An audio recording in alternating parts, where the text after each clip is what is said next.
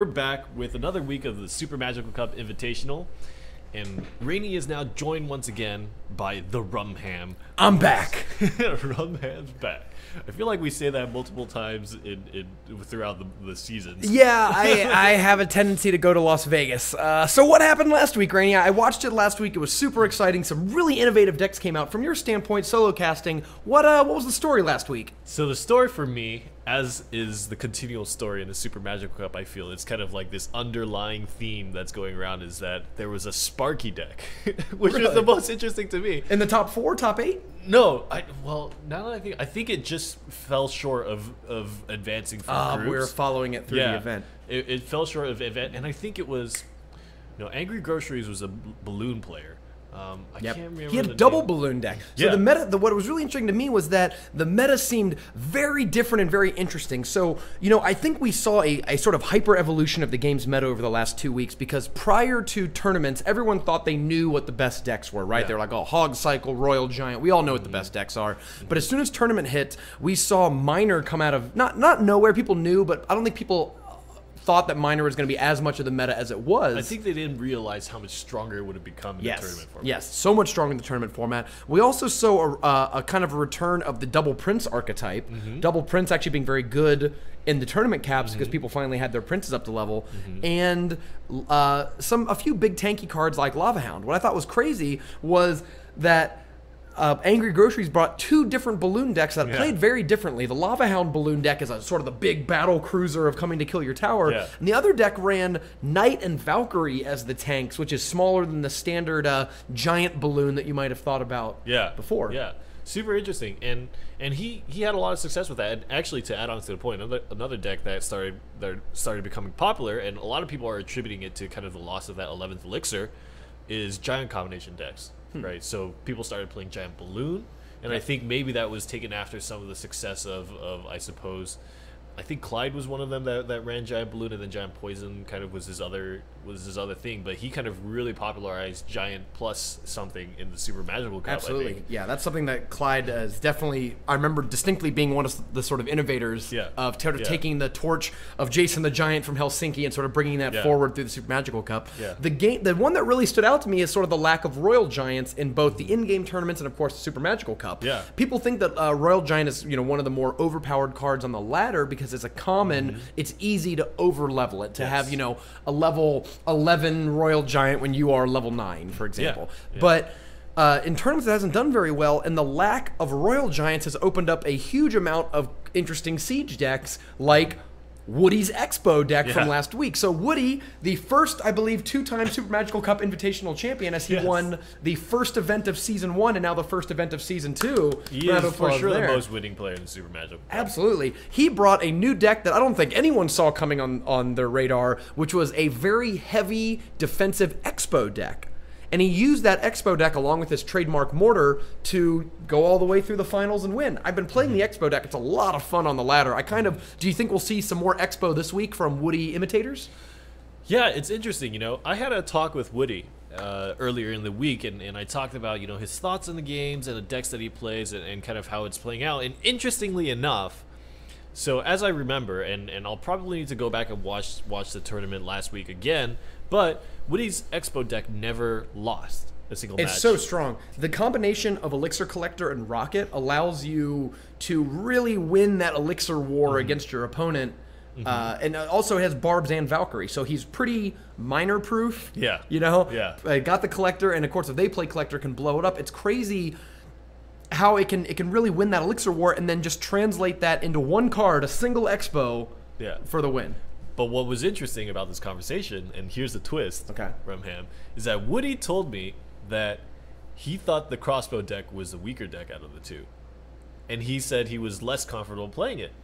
Which was interesting to me because I was like, hey man, if you look at the numbers, like your mm-hmm. crossbow deck is wildly successful as compared to your to your other deck, which which which he had lost with in the tournament. But it was interesting to me. Maybe it's it's kind of this element where Woody is just feeling like one of the things that was really key to Woody as a player, and and the reason why I talk about him so much is kind of he's I feel like he's a player to beat, especially in, in the Super Magical Cup. Of course. And I think extending beyond the Super Magical Cup in terms of Clash Royale in general, he's kind of the player to beat. And uh, he was talking about how where his strength come from comes from is in his ability to be so familiar with the interactions of each of the cards in regards to something like he would play like Mortar or Princess, which we know he's been very, very loyal to. Sure. He just understands those interactions so well that any combination of cards that you play against him, he can figure out what the ideal response is and execute that Yeah. to perfectly. And that's kind of what gives him his consistency and success that we see demonstrated in leaderboards, right? He's Absolutely. number one in season one, number one in season two, and and the most winning player. And I feel like maybe it's that element of that crossbow deck being unfamiliar in terms of I think know, that's the key. yeah. I- but if he keeps working on, at it, I mean, Mm-hmm. it's obviously very successful. Yeah, I think that Woody takes to, tends to take advantage of people being unfamiliar with playing against Mortar and other of these siege archetypes in order to force them into uncharacteristic mistakes he can take advantage of. But it's interesting. I just looked at the bracket. He is not in this week. Uh, he's taken Yeah. the week off, uh, probably doing some very important real life stuff. So, who do you got out of this field that lacks a sort of clear leader? Yeah. So last week, Flash was highly, highly successful. Very, very successful player. He made it all the way to the semifinals. Mm-hmm. CMC Hugh, interesting in, interestingly enough, big player in tournaments. Absolutely. Everybody knows that, representing Elite Gaming, I believe. Mm-hmm.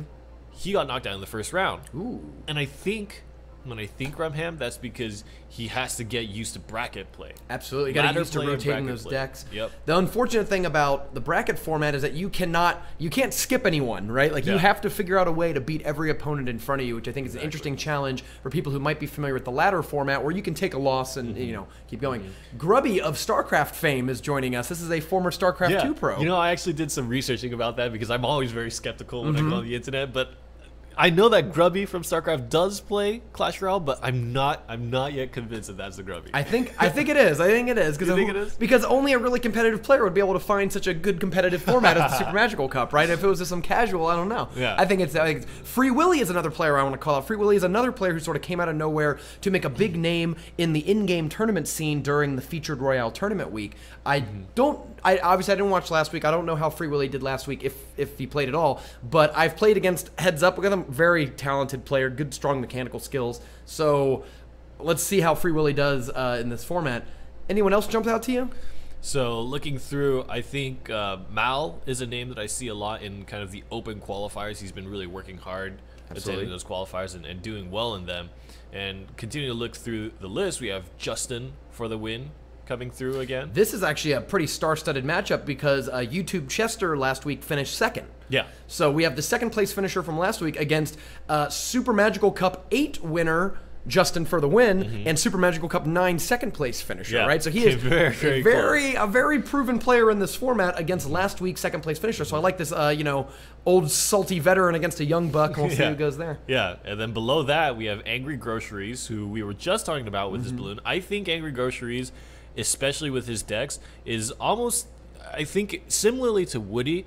I feel like, and of course we've only seen him in one Super Magical Cup tournament, but I'm gonna make a prediction, Rumham, that he's gonna be able to have very consistent results past the top eight. And I might eat my words, but the reason why I have this gut feeling is because I feel like he understands, kind of similarly to how Woody understands the mortar. I think Angry Groceries understands the balloon enough that he can trade interactions consistently Sure. to give him those results. The question is, is he going to stick to his guns and keep playing balloon decks? I, I hope that just like we have Woody as the mortar player, I hope we sort of get a consistent balloon player in the circuit because it's one of my favorite cards, but I, I haven't really been able to innovate on a lot of those deck lists. So I, I look towards the great players of the Super Magical Cup to find these new deck lists for me. A-Chan is a very big regular, though, who's done a lot of research and I'm Yeah. sure is very familiar with Angry Groceries Yeah. after last week. So and Achan has improved a lot upset. since since Absolutely. we've, we've seen week after start. week. Patriots 34 is another regular player and also a good tournament player. Uh, I believe finished highly in some of Galadon's tournaments, some of uh, I think Clash with Ash's tournaments as well during Royale Tourney Week. So another proven. King K is I believe third on the qualifier point list. Nice. So another. He's been working hard too. Absolutely. Yeah. Trainer Chris, uh, beyond reproach. I think another Elite Gaming maybe it could be in the wrong clan, but Yeah, Uh, I, I've, I always pair Trainer Chris and Trainer Nick together, and they kind of rise together too. I wonder Yeah. what their story is. And let's see, let's finish up. Well, of course, Inner Lowell, of course, we're all very familiar with Mm-hmm. Yeah. from past uh, events. Clyde, the Super Magical Cup Season 1 Invitational winner, the season Winner, one yeah, championship yeah. invitational, won that event. Uh, Visitor, I've seen a bunch, is usually in the top 16, top 32 round. Definitely Mm-hmm. not someone who gets eliminated in the first round or so. Uh, D Blackrose top eighted last week. Yeah, as well. Yeah, he did. So we've we've got some really, be- and that's something interesting about kind of our invite format now is right out of the gates we have some very very strong players kind of heading up each other, and, and it gets harder and harder because before in the Super Magical Cup, the first round was really really fun in the sense that you got to see the best players f- facing a lot of unknown names. Yeah. and you you had no idea, right? And one of the big storylines about the Super Magical Cup number one is that there would be first time contenders in Super Magical Cup who would go all the way to the finals. Absolutely. And I think this time around, it's going to be even more intense because they have already proven themselves as players. The first, these even these new names are players who have proven themselves in one way or another through the qualifiers. Absolutely. There's no there's no chumps in the field, which is a good time where as we start to get into the games, the game should be starting uh, any second now. We're to start doing our spectating. If you would like to join Super Magical Cup Season 2, go to supermagicalcup.com, scroll down to the big sign up button, and go ahead and sign up. We send out weekly emails. They're going to go out on Monday starting this week that have qualifier names, times, all that sort of stuff. So you can find in game qualifier tournaments, play in those, and earn qualifier points to get into our weekly bracketed event. It's going to be awesome for the rest of season two. We're going to see a lot of improvements if you keep tuning in. We are uh, in our in construction studio in the next month or so we're going to have an official studio for the super magical cup Yeah. we're expanding to run more qualifiers with both more people and shorter time frames we've heard your feedback about the lengths of our existing qualifiers and uh, yeah we got another what two months until the finals the Yeah. season two championship on september 24th so make sure to get in there's still plenty of time to earn these points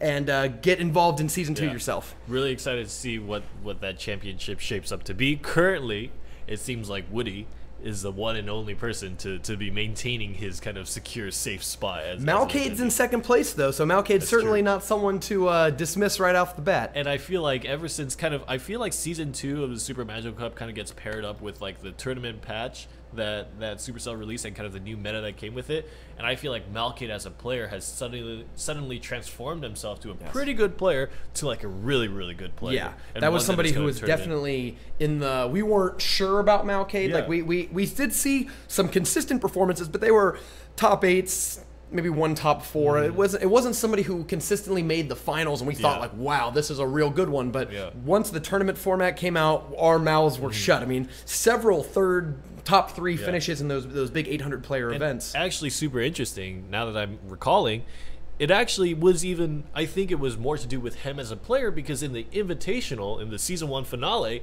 he did really, really, really well, and then he kind of piggybacked off the changes and then continued to do extremely well. Yeah. and and it's kind of the timing of his kind of growth is, is kind of very, Mm-hmm. very interesting to look at. So Malkid is definitely a play, player to watch out for, as well as Woody, were the top two of our leaderboard. And interestingly enough, if you guys want to find out who the most competitive Clash Royale players are and want a leaderboard that actually tells you what the story is, Mm-hmm. join the Super Magical Cup and add your name to that list because we feel like we ha- hold some of the most competitive players. Absolutely. I mean, there's so many just tournament studs in this format. Do you want to jump right into some of the matches? Yeah, let's let's let's, do it. live spectate the first match or so. And where we go in, In, game. Here we go. Oh, they're in Builders Workshop. All right, Builders Workshop, and we've got last week's top four finisher, Flash. Yeah. So we're gonna jump right in so you can see a top four finisher from last week. What do we got started off? So uh, Inferno get- Tower right in the middle. He threw out a kind of scouting hog rider, uh, Mm-hmm. as I would say. Kind of a lot of the the things that you start to notice when you play a lot of tournament level games is that if you have something like a hog rider or something like a mortar or something like a giant push, just throw your combo out at the starting, and sometimes the card cycle favors you. And a small investment like four elixir is enough to to research your opponent and see, okay, he has an Inferno Tower as a response. Good information, and also the risk can pay off for you in, in the sense that you might be able to take a lot of health off their tower just because they don't have the cards in hand to deal with it. Absolutely. I mean, that's, that's something. Well, if you're going to build a line of play throughout the course of a game, it doesn't really help you to overcommit really early on because you've sort Yeah. of revealed your poker hand. So, see, like Yeah. by opening with Hog the first time and then opening with Goblins now, he can sort of see Mm-hmm. what's going to work. Both, though, repelled pretty easily by the Inferno Tower. So it was Inferno Tower Zap for a seven elixir combination. Uh, and Slim Shay attempted to do Hog Rider Melee Goblin plus Zap, so that's about a, a Eight. eight Yeah. So he Trade. lost one more elixir and didn't do any damage. And Not Flash exactly the gaining, greatest. Uh, elixir collectors. Of course. The back of that. I think Slim Shay might have to just save the fireball for it. We'll, we'll kind of see. I don't know if I like that's kind of an overcommitment to the miner when really the goblins are the damage dealers. Yeah. Ah, but 300 damage wasn't too bad overall. Yeah, it's it's not a it's not a it's not a crippling mistake, but that might come back to bite him farther down into this match. Um, if his if his execution continues to, to be a little less than perfect, Flash might be able to capitalize on that. Sure. And we already know that Flash is a great player, so Do we know where the um, flash drive is? it's from the last actually uh, it's on my desk. Got it. It's on my desk. So at some point, We'll go grab it. Yeah. Yeah. 'cause I, we, we need it if we transfer those images over to the hard drive. yeah, That's perfect. Yeah. I keep forgetting to do that. All right, Princess out to take care of the goblins, and it does just fine. And actually, off the back of that counter push, we saw that uh, Slim Shade played the Mini P.E.K.K.A. and the Ice Wizard on defense and pushed across the bridge and did a lot of damage to that left side tower for Flash. And so, you know, we were talking about little kind of judgment errors on, on how he's going to commit Elixir, but the reality of it is that Miner was pounding on the tower and not on the units. Full health, pushing back, still Elixir that uh, Flash needs to deal with, and he took a lot of tower damage. This hog bomber is very interesting. So we've tried the goblins and whatnot before, and I like that he's trying not just the fireball, but like just other supporting troops. I think what he's gonna have to do though is put the goblins in front of the hog rider and not behind it. Yeah. But it seems like Slim Shay is just feeling forced to use those goblins to defend against the uh, the miner and the mini P.E.K.K.A. and those sorts yeah, of things. Yeah. Something interesting when whenever we talk about Inferno Towers, I just have to reference Pompeyo's execution to Oh, try to get yeah. around Inferno Towers. And you know, upon a lot of further investigation, things like spear goblins and goblins are, are, are really great to use if you know that your player is going to play an Inferno Tower. But the I, most ideal cards are actually minions. Just Yes. because minions can fly across a bridge and they're closer to the middle of the map, so it's much quicker to get them in front of your unit. If you Yes. can imagine what I'm. I mean, about. honestly, I, I have become a better player from watching Pompeyo and other Super Magical Cup players using uh, the minions to counter Inferno Tower. I didn't usually know what to do against Inferno Tower, but watching the sort of parallel minions and they fly in front and distract has really given me a way around that. It's unfortunate that Slim Shay doesn't seem to have uh, something to distract. Yeah, he's having a very, very difficult time pushing past that Inferno Tower. And especially in double elixir, it's very hard to catch your opponent off guard in terms of having him way too low on elixir. Um, this Inferno Tower can be cycled pretty quick. Flash's deck is very low on elixir cost. And uh, Zap again. Zap, I mean, Zap on Flash's side is really hurting because anytime he plays the Goblins to try to protect the, the Hog Rider in any way, right, the, the, the Zap just takes down the Goblins. And so Flash go. will take that handily.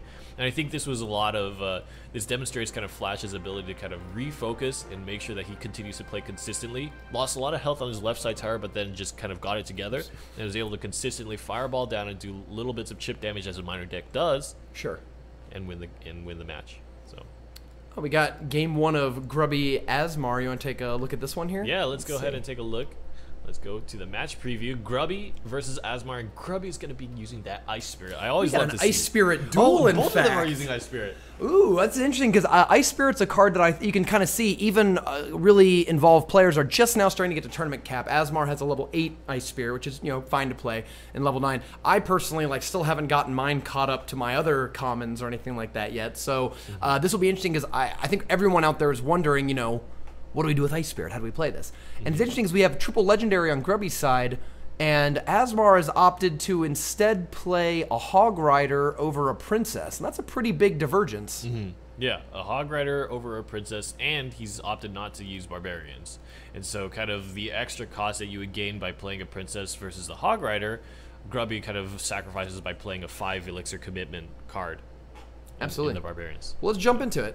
Yeah, let's go ahead See and. how I, uh, I got to do. Yeah, match start. Whoop. Grubby Asmar. Popping in game. Boink. There we go. Now I believe. I think. Let's see if there's some micro here. Let's see if Grubby can really line up his peasants to his elixir collectors and really maximize that that collection there. Yep. Princess as the answer. And he zaps away the goblins, and going to take a decent amount of damage from the miner, actually. Yeah, I liked. I understand what he was doing there. He was trying to play the princess as the zap, and then sort of panicked and realized like I can't. I can't Yeah, afford to take yeah. 500 damage from these things. Yeah, one stab from three goblins is a lot of damage on your tower. Yeah. And the princess doesn't kill them either, so it Yeah. would take two princess shots. And that's probably two in a bunch. That's you know? it could it could even be you know upwards of yeah 800 or so damage depending on it. Yeah, I, I like that good that risk management. Yeah. I like that.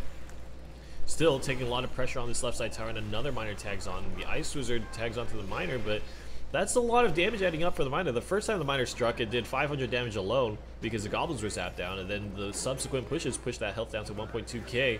And I think Grubby is off to a really bad start, and that goes to what we were talking about in terms of card cycling, right? You just don't have the cards in hand to really deal with what your opponent does initially.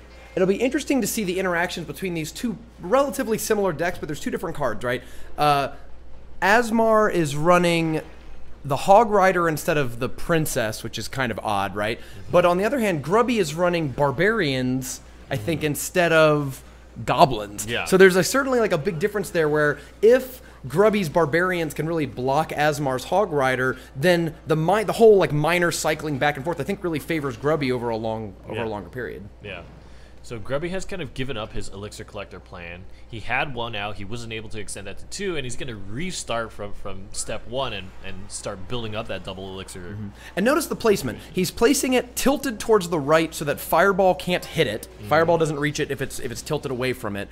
But it's also in a, a place where if the miner pops up next to it, both towers are going to shoot Yeah. it down. Yep. So he's doing a really good job at defending Oh, his, his oh. purple economy against the incoming miners, but the damage is still getting through on those towers. Yeah, yeah, and, Oh. and Grubby's coming closer and closer, but the question is, does he have enough time? Right, 918 health on that tower is not bad, and this is a big push coming Ooh. across. He's actually ignoring that miner, so that's actually three elixirs He's that going he for the doesn't have to deal yeah. with it. But it might be paying off too, because look at that! Oh, Oh, no. talk about losing the battle but winning the war, right? Yeah. You had an ability there where he's like, oh, I'm going to take a lot of damage from this miner, but it's okay because I'm going to try and commit for this push. Yeah. And those plans, you know, it's good if it works out, and it sure does right here. Yeah, and, and that's kind of interesting because typically you would play your miner aggressively just because of the fact that it Yeah. can pop up anywhere on the map, but that's three elixir that Grubby, that basically Asmar threw away in that push. Yeah, I mean, you can tell now how uh, important it is to run things like Fireball and other direct damage spells because Asmar, with only Zap in his deck, has no way to actually punch through damage on that on that tower. He's got to hope for a successful miner push, and uh, it's hard to it's hard to get a miner to work when they're ready for it. You know, when all I have to do is just play surround my towers with stuff, it's going to be hard to punch through that damage. I really like the way Grubby played out that last that last bit. 330 health is not a lot of health to have on the tower. It could have easily gone to overtime. Grubby adjusted his elixir collector positioning farther up so the Hog Rider would be attracted, and then he was waiting for the miner to pop up and pop up and use the Ice Spirit actually to tag onto the to tag onto the miner. I have to start turning off the bracket here. We're gonna Yeah, we're yeah, we don't want to see too many spoils now because we're gonna start watching older like we're gonna start watching these match previews so we can. Uh, what take a about this look at one? who, who's Well, playing what deck. We already Let's- saw who won that match. I want to make sure we're- showing someone who's not getting. But here we go. Steve-O and Artizzi has not been uh, revealed on the bracket yet. So let's take this not one. players that we're too particularly familiar with. I don't think. These are, I believe, both new faces, and that's what part of the goal of the Super Magical Cup is, of course, to search the Clash Royale community for the best players in the game. We think we have the best players already, but there's always room for more. And so these two players have done well in the qualifiers, are able to sign up and show up to the Invitational, and let's see if we've got maybe a new star of the Super Magical Cup series in this game. What do, what do these decks look like to you? Stevo is running the Royal Giant deck. He's running a form of the Royal Giant deck with Poison added on. Our discussion earlier before we started watching matches talking about how Royal Giant didn't seem to be that popular in tournament formats. I'm, I'm concerned for Stevo's uh, uh, safety here. Artizzi, on the other hand, is running a deck that I think we both know is very, very, very effective Yeah. in tournament format. The miner furnace archetype is interesting to me because it seems like one of the it was an archetype that originally just was a triple legendary deck. It was like triple legendary plus furnace. And then people really liked the minus furnace miner furnace interaction so well that they started um, switching the deck and it's the only deck I can think of that actually removed legendaries. Like people opted for Musketeer over Ice Wizard. They wanted, you know, maybe Valkyrie in this case instead of Princess. And I think that's a really cool showing that it's not always just about playing the legendaries that oftentimes there are rare and uh, common and epic cards that fill that Yeah. role a little better Yeah, yeah. So let's go ahead and jump in this, into this game and see see how it transpires. Something interesting to note about miner decks in general is that they're very similarly to Hog Cycle. It's a lot about chippy damage, right? You're really looking to just you have the miner swing once or twice, play into that three minute overtime, and eventually take down that tower. Having poison, having furnace, all of that just adds on to that element of I'm just gonna slowly chip away at your tower health and do consistent damage, play good defense, and then eventually win by taking your tower down. A war of attrition. And I think that's why it works so well in tournament play because it's such a low risk method of playing. Yeah, I, I definitely. Uh, if you're the oh well, I got one fire spirit actually did a, a zaps the zaps Yeah. work right there of taking out those minion hordes. And now that Zap would be, was able to finish all. Yeah. all The pieces. downside of something like those miner decks, though, is it requires your push to get off. You have to make those successful pushes multiple times per game, right? Yeah. It's not. It's not like oh you pulled off this big surprise strategy once. You have to keep doing it. Yeah. So you see that really successful miner players are the ones who can play their miner in different spots on everything. Like they're not predictable with their play. Yeah. And wow, look at how I mean we're talking about chibi damage, but that I mean that's that's also one of the reasons why these decks run things like the mini Pekka and Musketeer. Yeah. Because then that's what that's what gives you the ability to capitalize on your opponent's mistakes, Yeah. right? Because if you don't have that ability in your deck, really your opponent can just play willy nilly, and you don't really have a, an, a method of kind of making sure that you're punishing them for that. Right. And having the Musketeer, having the mine, uh, mini Pekka, these are cards that can do a ton of damage if, you keep them unchecked. And I, I really liked Steve-O's play of getting the poison down on the furnace, even though it's a four for four, and it seems like well, it's mostly just like an elixir even trade. What uh, I really like, I mean, I don't think you, you at home may not realize how good poison is against spawners, right? Yeah. Because it does a fireball's worth of damage. It slows the spawn speed, which means that your spawner over the time will make fewer spawns, and uh, it kills the spawns that come out during it preventing them from ever getting there. So like Yep. this furnace is going to produce fewer spawns, take have lower hit points, and really not attack for some period of time while the poison's going on. Mm-hmm. Unfortunately, Steve-O doesn't have a way to seem to deal with the miner, but at least he's got a plan to stop the furnace from overwhelming him. And and we were we were kind of talking about this Royal Giant decks. Royal Giant decks, I think, have a very very hard time dealing with with these small chippy decks, especially because most of the cards for Artizzi are really really cheap, and Yeah. they're really really great defensive cards. I mean, he's got he's got two thirds of the trifecta here. Yeah. And then on top of that, he's got the Furnace assisting, and then he's got the Mini Pekka. And the mini P.E.K.K.A. kind of functions like one of the trifecta cards, right? It attacks like a hog rider in that like you have to deal with it right away. I think. Oh, actually, it's a little closer. The damage is a little closer than we may have initially thought. It looks like uh, Steve-O might be able gonna tie up there. this tower Yeah, here. That last that last defense that uh, Steve-O put together with that Royal Giant where he played at the Oh, bridge, look at that. doing a lot of damage. Just one, or more. two goblins. go. Wow, two out of the three spear goblins attacked, and that was all Steve-O needed, which was, you know, good for him still in the game. And to talk a Oh, he's leaking more, elixir now, though. Oh, there it is. Oh goodness, that that is a full health mini Pekka, and the minions are going to be a good response in poison. However, they're not going to last too long. They last long enough, though. Do, I think it's worth it to cast them, Yeah. even though. The downside, though, is once again, Steve-O doesn't. He And seems the to be musketeer. oh, nice. Oh. Barbarians in front. Still took a damage though. You can see at the effectiveness of the furnace against the barbarians. Uh, another thing that I'd like to call out is that, you know Royal Giant is a card that we talked earlier in the pre-show that people were Yeah. really afraid of on the ladder, but not so much in tournaments. You can kind of see it here. Uh, Steve-O's Royal Giants haven't been terribly effective. Almost Mm-hmm. that entire tower's almost gone down solely on uh, on poison damage Yeah. because in a deck that has what Musketeer Mm-hmm. and Furnace and Mini P.E.K.K.A., that six elixir kind of goes to waste. It rarely Yeah. does six elixir Yeah. worth of damage. And kind of the style of the Royal Giant decks too, as we were mentioning, as opposed to a chippy deck that does small bits of damage at one time, the Royal Giant deck is much more reliant on, on kind of making a big play, overpowering your your opponent's defenses, and then having the Royal Giant or maybe kind of a Musketeer or whatever supporting troops that Yeah. have high damage behind it, kind of push the tower down a lot of health in one go. Now, definitely one of the big advantages of the Royal Giant archetype is that if you take one tower, you have a really good advantage on the second Yeah. tower. Playing Royal Giant in the Oh, middle no. allows it to almost to automatically attack, but at this point, I just don't think he can push through a full tower's health of damage before the poison takes it out. Yeah, and there we go. Artizzi grinds it out. And Artizzi, even though it's actually testament to the power of Royal Giant, look how long that thing survived. Yeah. Right? Like, I mean, is it felt like Artizzi was in control the entire game, yet Steve-O was only a thousand damage away from winning yeah, that game. Yeah, and and really, I mean, the Royal Giant itself undeniably is a strong card, despite the fact that it might be on equal levels in tournament in tournament play. But the big key point here is just the fact that the Royal Giant costs six elixir against a deck that constantly throws fire spirits at you, has miners popping up at for three elixir costs, and then has small troops constantly pestering you and causing you to play elixir for defense. Very very hard to get a Royal Giant push started. Yeah, for sure. Let's. What about this one? Actually, I kind of, I kind of would be down to watch game two of their series while we're Yeah, they're getting caught up. let's go ahead and let's go ahead and take a look. So at this is they switch.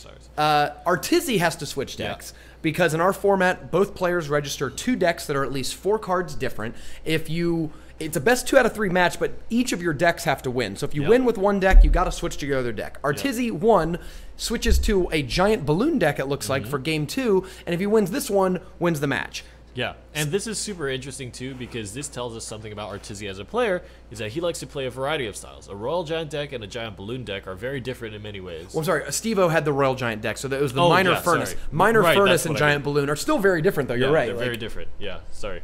But uh, Steve-O is gonna ride or die on this uh, on this Royal Giant deck. So let's see if that brings it home for him.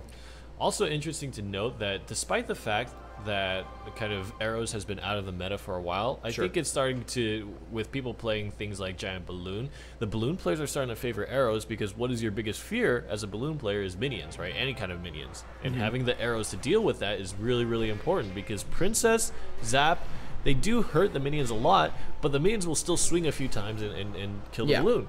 I mean, you can even see the fragility of, of the Royal Giant. The low health point of the Royal Giant, a thousand health less than a cheaper normal giant, means that if there's some high damage thing that comes down, you have a very small time window to react to Yeah. it. So you saw the mini P.E.K.K.A. came down right there, and Steve-O just like didn't have like what can you play? Like minions maybe. You could play barbs, but they're slow to get there. Like by the time they walk around the giant, it's already dead. And that's why a lot of players, especially for something like Balloon, favor the cheaper, mm-hmm. more hit point mm-hmm. giant, right?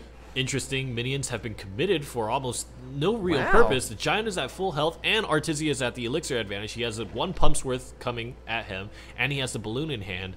This might be a big push for Steve to handle. The, the- Yeah. The, the, cannon and the ice wizard are going to be instrumental in defending this push. Wow, those guards plus princess are really chopping up those barbarians too. Uh, Oh, skeletons, no. guards do a good amount of damage. They do more damage than normal skeletons. Mm-hmm. Uh, and obviously they can't be zapped because of their great effect. That's two hits from the balloon. And I think he's going to take the tower down. Even just the guards finish it up. Wow. Yeah.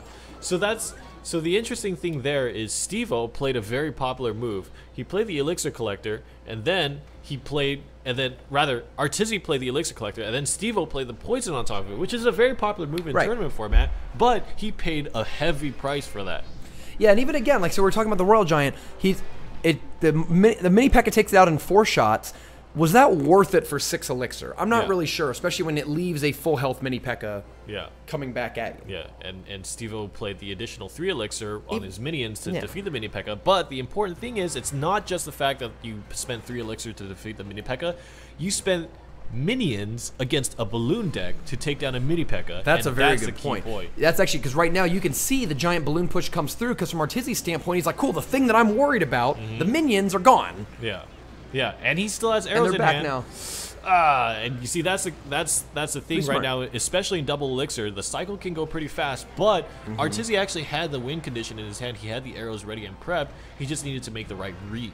Right. Right. So it's still very risky, and, it, and that this was something, and this is one of the reasons why Steve lost his tower in, in the first part. He wasn't in double elixir, and he couldn't actually mm-hmm. cycle fast enough. So it's very important to, to make sure you're spending your cards. right. great defense by Stevo, both with the Ice Wizard to immediately freeze the whole push, and then the cannon on the right side to draw the balloon away. Yep. he's trying to diversify the damage between the king tower and the crown tower, which is very smart. Oh, and here comes that Royal Giant in the middle. There's we not a lot of damage on the board. and there's already an Ice Wizard there to kind of slow it down, and the poison. Ooh, that's a really good That's a big too. push. It should stop. Maybe not the entire. Uh oh. But here comes that giant balloon. Now does Stevo have what he needs? he does have the Barbarians minions. Great answer. Oh, look at the mini P.E.K.K.A. though. That's a big lot of health left on that mini P.E.K.K.A. Oh, Giant gets one swing. Close. The fact that he, Artizzi right now is playing the giant in aggressive position, but that also allows Steve to instantly surround the giant Yeah. before Artizzi ha- even has the time to build up elixir to assist the giant. Right. And so I think almost for, and we'll actually hold that thought for a moment. The poison's going to do a lot. One more shot, and he's just one poison away from actually taking this tower down. You're right, Steve is going to need to But here, defend does he have this last time? push. He does have. He doesn't have enough elixir for the ice wizard though, or the cannon. The things Uh, that I he really think he needs. needs to- the cannons. Oh, the cannon Yes, pulled back a little nice. bit, but it didn't take any damage. And oh no, the balloon's gonna get in there. It's got one He's going to need to zap. zaps it, but he's gonna get another shot. I think. No. Oh, he gets it. Only 135 left. to, I think he should just play the Royal Giant right now. Oh my god! Oh, the collector blocked, and that leaves the princess to take it down. I lost! Oh. Rob, I lost! I played the Royal Giant and the Elixir Collector was playing. Oh my god. That was great. Hey, that was an excellent game. That was. I'm so glad Artizzi, Stevo. I hope to see more of them in, in uh, as well Artizzi more of in this game. But that was uh, great. Guards are another card that have really surprised me. That's a card that we didn't see a lot of in the ladder because I think it's a newer card. It's an epic, so most people don't have them leveled up. But once we get into these tournament formats, crazy to see what you know some of the, the cool uses of that card. Well, we're not going to let the matches stop right there. We've got a few more matches here in Group A, and then maybe we'll jump to Group B after. Sure. I feel salty for that loss because, I mean, this is why I I'm not love- a tournament player, but We talk a lot about in, in tournament play, it's less about playing your deck and more about playing the player. You have Yeah. that extra two minutes of overtime to observe and react to what your opponents are doing. Mm-hmm. And I think something that we just, I, w- I was just really impressed by was that. Uh, Artizzi knew a Royal Giant was coming. Yeah. Knew it. So he just played an Elixir Collector in the middle, and it happened to be a half second before the Royal Yeah. Giant came down, and Yeah. that saved the entire game. yeah. And uh, man, I would love to talk more about it, but the key point there is that if if Stevo had committed the elixir to actually defend the push Yeah. and take down the princess and defend the guards, Artizzi would have lost, right? For sure, with a poison, And, anything. and, yeah. and Artizzi chose to play the elixir collector, so he wasn't going to help his push on the left side. He Right. that was his last hurrah. You're right. He was like, you know what? I'm not even going to attempt to, to make sure I get this left side tower down at this push because I know the next thing that he's going to if play. is Steve Royal had Giant. played not to lose, he would have won Yeah, basically because he only needed the poison. Yeah. Uh, wow. All right, next game. This is uh, the last one we're going to watch in Group A, and then we're going to jump to Group B to make sure we get some more screen time for all the other Super Magical Cup competitors. Iams versus Primitive. Iams is someone we see week after week. Another Yeah. one of those guys who's always in the top 16, top 32 round, but I think has never made a top eight. Maybe once, maybe one top eight. I'm not sure. Yeah, he's definitely a name that I've that I've seen around, and and kind of, at least to my recollection, his games have been somewhat interesting. But I- I don't feel like he's he's ever broken out to kind of like the the champion tier of Super Magical Cup. But what better way than to get practice against so many of these good players, right? Yeah. So let's take a look at the decks that they're running. It's the return of Golem Poison. Uh, Golem is another deck that we've seen a lot less of since the 11th Yeah. Elixir got removed. Yeah. But I still think it's a very strong deck. I think that it probably is just hurting because of the popularity of Mini P.E.K.K.A. So Yeah. let's see, because we have a deck here that doesn't run Mini P.E.K.K.A., right? Trifecta without the mini P.E.K.K.A. Yeah, trifecta with uh, minions replacing the skeleton. So basically, skeleton got upgraded to minions. Otherwise, the kind of standard trifecta defense deck.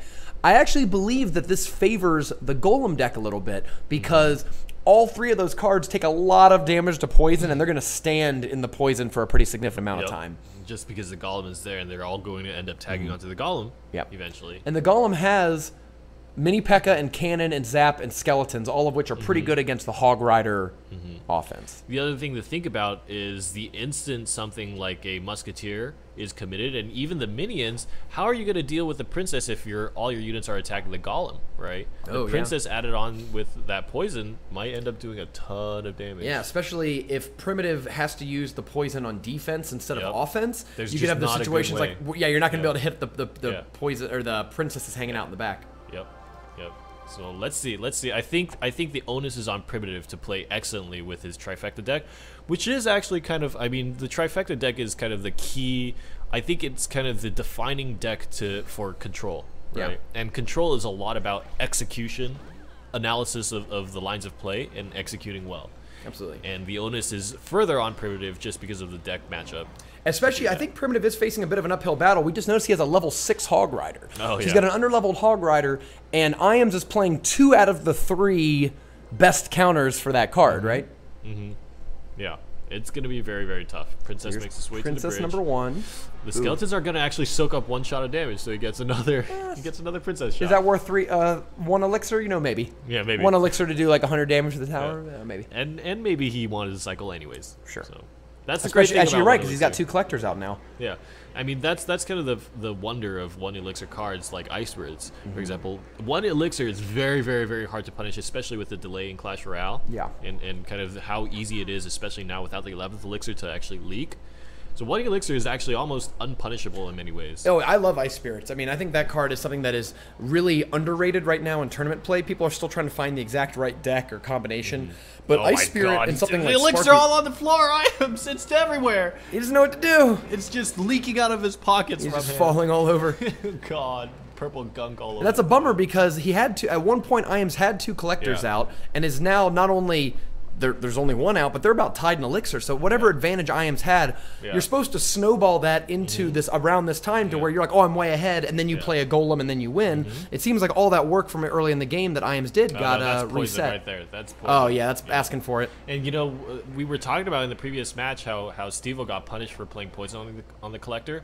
Primitive is demonstrating exactly why that's such a popular move. Yeah, I mean, right there, we just saw primitive. I mean, that was five elixir. No, I'm sorry, four elixir plus, Plus the tower plus damage. seven. It was. Four, I mean, it was a four for seven trade. Yeah, yeah. Not to mention, you prevent. damage. You even just prevent the long term of like, oh, he'll have elixir a minute from now. Like, Exactly. all of the pumps just happen right away. and against the golem deck. That's okay. So he's in double elixir. He's got one collector down. He's gonna play the golem, and the elixir collector is probably gonna get another pump for him. He got Yeah. one pump right there. Yeah, who'd have thought that the trifecta deck would be able to out elixir the golem deck? Yeah, yeah. I, it's the poison is really, really hurting uh, uh, Iams, and Iams has not been willing to use his poison to cancel out Primitive's elixir collector. And I think that's a big difference, and that might be the right choice. So he's gonna play his poison early on the princess. Okay. But this is gonna make implications. How is he gonna deal with skeletons and mini P.E.K.K.A. Right? Yeah, and the mini Pekka just gets to walk right through it. Oh quickly. no! Oh, the skeleton! Oh my god. Okay. Interesting. Well, the golem is just standing at the tower now, and you can see how much damage that does. Yeah. A second golem push is gonna spell the end of Here comes here comes a pig push though on the on the right side, and this. Oh no! Look, the princess is avoiding the poison down there. oh no. Just one square out of range. It doesn't. Oh! Oh, walks the edge of it. It's a game of inches. Oh, this is that. This really hurts primitive. Defensively, Iams has the two cards that he needs to, to stop Hog Rider pushes, and Valkyrie kind of is, is really just used as kind of a, a tank in this Yeah. scenario. And, and if the Hog Rider pushes the Valkyrie well, then it can change the, the dynamic a little bit. Another key, another key thing is that the uh, using the poison on the golem push allowed Iams to get two collectors back out, and with the three minute overtime, there's no fear in casting collectors in overtime because you, you the game may go on another 70 seconds. Yep. All right, is the poison gonna come out? Oh no! Oh, it's the Uh, second golem. I'm calling it. It's done. Oh, he got a nice job getting the collector and the low health musketeer in there. That poison may kill the musketeer along with the Yeah. golem explosions and some other things. It's it's. I'm calling it. That's it. You think that's it? Oh Yep. wow, look at that, the princess. Yeah, it's always the second golem that does Yep. it somehow. Yep. Yep. I mean, we see this oftentimes with big body decks, especially with Giant because Giant is one of the cheapest big bodies that, that you can get. It's kind of the whole in double elixir overtime situations. You play the one big Giant push, right? You play him in the back behind your King Tower. You put all your supporting units down. Your enemy scrambles to defend, and then before your supporting units even make it across the bridge, you play another Giant, and they're like, well. Now my Inferno Tower is gone, and I have nothing left to defend this second giant, and it's just gonna walk straight up to my tower and start beating down on it. And uh, you know, when that happens with golems instead of giants, you're in a world of pain. Oh, absolutely. So we've got some pretty good. Uh, yeah, let's try this one out. Let's try Yeah. Group B. Yeah, let's go ahead and do that. Uh, do you want? I try. to- Which one's your desk? Oh, I'll go grab it. Uh, it's in front of Lucas's. Okay, it's on the other side. I'll be right back so we can get more of those images, the little featured images. All right. And uh, while Rumham is grabbing that, let's go ahead and take a look at Trainer Chris. Let's see how he's been doing. Trainer Chris versus Kermany. And Trainer Chris is going to be running a miner deck that includes guards, which is very popular in, in, in the current meta. Guards kind of have risen to very, very popular status, and uh, I think rightfully so because they're such a good card in terms of damage, defense, and cost. Just a very solid card all around. Meanwhile, on Kermany's side, he's going to be running a Royal Giant deck with triple legendary. And I almost don't know what to think about this. Triple legendary is very versatile, and it's one of the reasons that a lot of people play it. Very versatile, very cheap, but I don't know how that synergizes with the Royal Giant. And Kermany doesn't even have an elixir collector, so the Royal Giant, the expensive cost of the Royal Giant, and kind of the cycly, low cost nature of, of the triple legendary, that might work well together, but we'll have to see. We will have to see. Let's go ahead and take a look. All right. Hopping in game. If it will let me click. oh no, XSplit. If I can click anything. Oh, weird. Huh. There it is. It's starting to do. So Chrome works, but XSplit doesn't. Oh no, I want to pause the match. Oh gosh. Yeah, let's do Task Manager, I guess. Okay.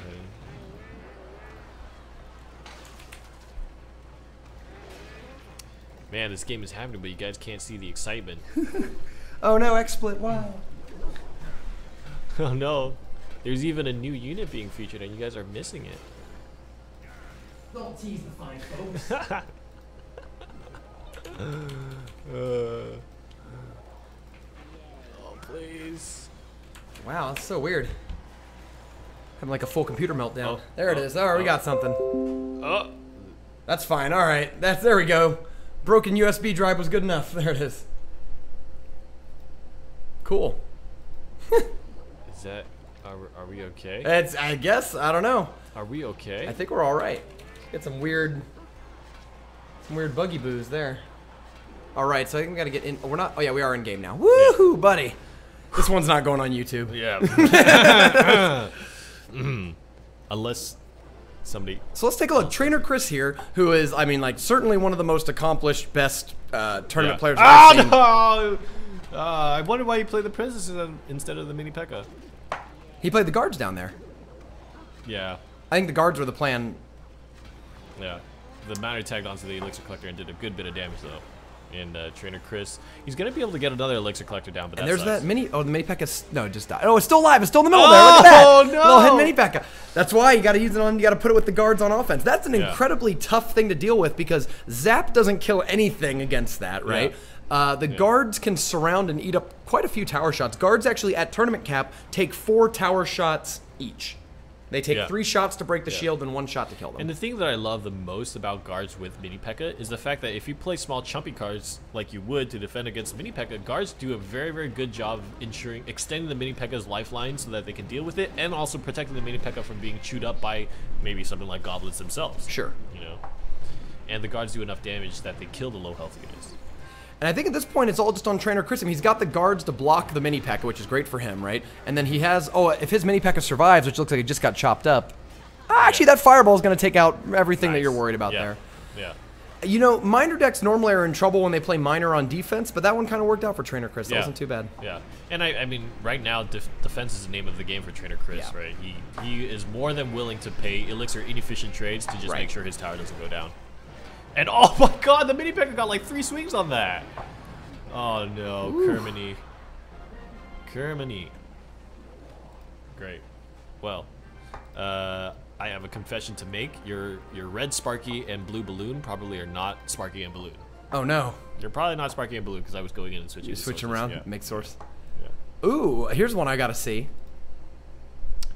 Oh, yeah, Ooh, we were just will be real talking good. about this matchup. Yeah. Actually, I like so yeah. Uh, Justin for the win, a two-time final, a one-time winner, second-time finalist Yeah. against regular Achan. Now here's a version I've been playing. I like the trifecta deck, switching out Ice Spirit for skeletons as the one-cost Yeah. card. So I'm glad that Achan's playing this list. I'd like to see how he does with it. Yeah. What do you think about Justin for the wins? Uh, he's got the miner, the miner furnace deck. yeah, I mean, Miner, Poison, Furnace. These three cards, I feel like they synergize so, so well on many fronts. First of all, on kind of the chipping tower health damage, which we talked about a little bit. Second of all, countering elixir collectors. And third of all, just making sure that your units like the Mini P.E.K.K.A. and the Musketeer and your guards have something sensible to assist them. The poison gets rid of chumpy units that you would use to defend against the Mini P.E.K.K.A. The miner protects the mini P.E.K.K.A. from from aggro as well as the musketeer. It's just a lot of synergies that work well together, and so I feel like this deck is that that's one of the reasons why it's so solid. These three cards, much like how the three legendaries synergize with each other mm-hmm. very well, these three cards, the miner, the furnace, and, and poison, synergize with each other equally. Yeah, and I like some of the meta choices that Justin's making in his, his miner furnace deck. Uh, opts to play the Musketeer over the Ice Wizard because between Zap, Poison, and Princess, you don't really and Furnace, you don't really need the splash damage. You just need the range and the single target Yep. damage. He plays Musketeer instead, and then I like guards as just anti miner, anti Hog Rider, Mm-hmm. gums up a lot of stuff. It'll be really interesting to see how this uh, this one goes. In the current meta, guards are just very, very valuable. Yeah, most people don't see them, so they don't they don't play a lot against them. Uh, they don't play against them on the ladder very much, so they don't like think about them. They don't really count them into their game plans. Guards are another card that I would say as recently as you know two weeks ago, people didn't think it was as strong as, as it turned out to be. I'm really interested to see how successful Achan's uh, Ice Spirit Trifecta deck can work, especially because he's swapped out the skeletons for Ice Spirit. He actually has no other chumpy units, right? He he only has the Musketeer, the Valkyrie, and the Cannon for for defense. That that's it. Yeah, Justin's always been someone who gets away with uh, light defense as well. Like I've always seen the, the like even remember back when he was not playing Elixir Collector and he would just play like Cannon and Ice Wizard and Zap, and that was the only defense he had, and it was good enough to stop like every Yeah. push. I mean, correct me if I'm wrong, but is is I feel like Justin was a player we were talking about where we were like, how do you defend? How do you stop princesses if you only have zap? Was that Justin? Yes, because it was Interlol who got four princesses out Yeah. against Justin because Justin's deck had no way to kill princess. Right. Yeah, he really, he really likes his aggressive play. And and most furnace decks have have some element of defense, and that's why they have the ice wizard. I mean, Furnace itself is, is an underrated defensive card. Furnace trades with the Hog evenly, so four for four, right? Which is not maybe the, the best thing you'd ever want to do. kind of like a Tesla. But I mean, given that Hog Rider is one of those all or nothing things, like if you you can stop Hog Rider and take no damage or maybe one swing, but if you get caught with your pants down against a Hog Rider, that's the whole tower. Like Yeah. it sucks. Yeah. So there are times where you'd want to play Furnace as a defense against Hog Rider, and you know that's a, Mm-hmm. a good thing to say for a spawner building, which are normally not that good on defense. Yeah. Oh no, the poison's gonna hurt the furnace a lot though. But good pull with the mini P.E.K.K.A. pulls the Valkyrie away. Is Mini P.E.K.K.A. the. MVP of this meta? I would say so. I mean, I think it's it's a card that is the most necessary. Not really the card because it's it's it's great defensively, but much like barbarians, in, in a in a weird Sure. kind of way, much like barbarians, the, once it crosses a bridge, it's actually pretty easy to handle just because of its movement speed and also Yeah. its health. But you have to answer. Yeah. It's not like it's one of those things where there are many times where I just don't answer minions or don't answer Ice Wizard, Yeah. right? Just let them do like 200 damage. Who cares? Whatever. Yeah. Their tower will clean them up. If but in the case of P.E.K.K.A. and Barbarians, you can't not respond. Yep. Oh no, that Hog Rider actually did a lot of damage off the back of that poison and Absolutely. the Musketeer to help. Traded with the other Musketeer. Achan's really using his poisons well to prevent uh, Justin from ever building up like a double furnace setup in any way. Mm-hmm. comes the There's Ice the- Spirit oh, look at the. Ice Spirit! Oh! And Oh! it rides around the mini P.E.K.K.A. The mini P.E.K.K.A. is disabled for long enough and the Valkyrie Wow. cleans it up. Man. Wow. Talk about aggression. I mean, Achan is putting it on. Ice Spirit. What a card. Ice Spirit is so great. So you can see that was a way for Achan to get around the mini P.E.K.K.A. Like every deck either runs Barbs or mini P.E.K.K.A. Skeletons are kind of decent, are, are really good on defense. Mm. But that Ice mm. Spirit as an offensive play mm-hmm. is what really helps separate some of these hog pushes Yeah. from what other deck can put together. Justin. Woo, Achan, maybe maybe for the upset. Now remember, it's best two out of it's best two out of three. So Yeah, I don't actually still- know who won hope. that match or Yeah. who advanced on. But for that game, Achan is uh, is Yeah. the champion. He played. He played it very well. Yes, very very smart play. Oh, let's go ahead and watch. Uh, I want to watch. Uh, actually, I want to kind of catch this one, but it's it's in progress, so I'm it Yeah, right now. yeah. Let's get some new faces on. I believe uh, this one involves. Let's see. What about that one? oh, Oh, it's kind of it. Oh, we try this one. yeah. Let's let's try it. So we have two other. Uh, yeah, right here. This one. Yeah, we're still good. Yeah, good. Yep. two other new faces to the scene.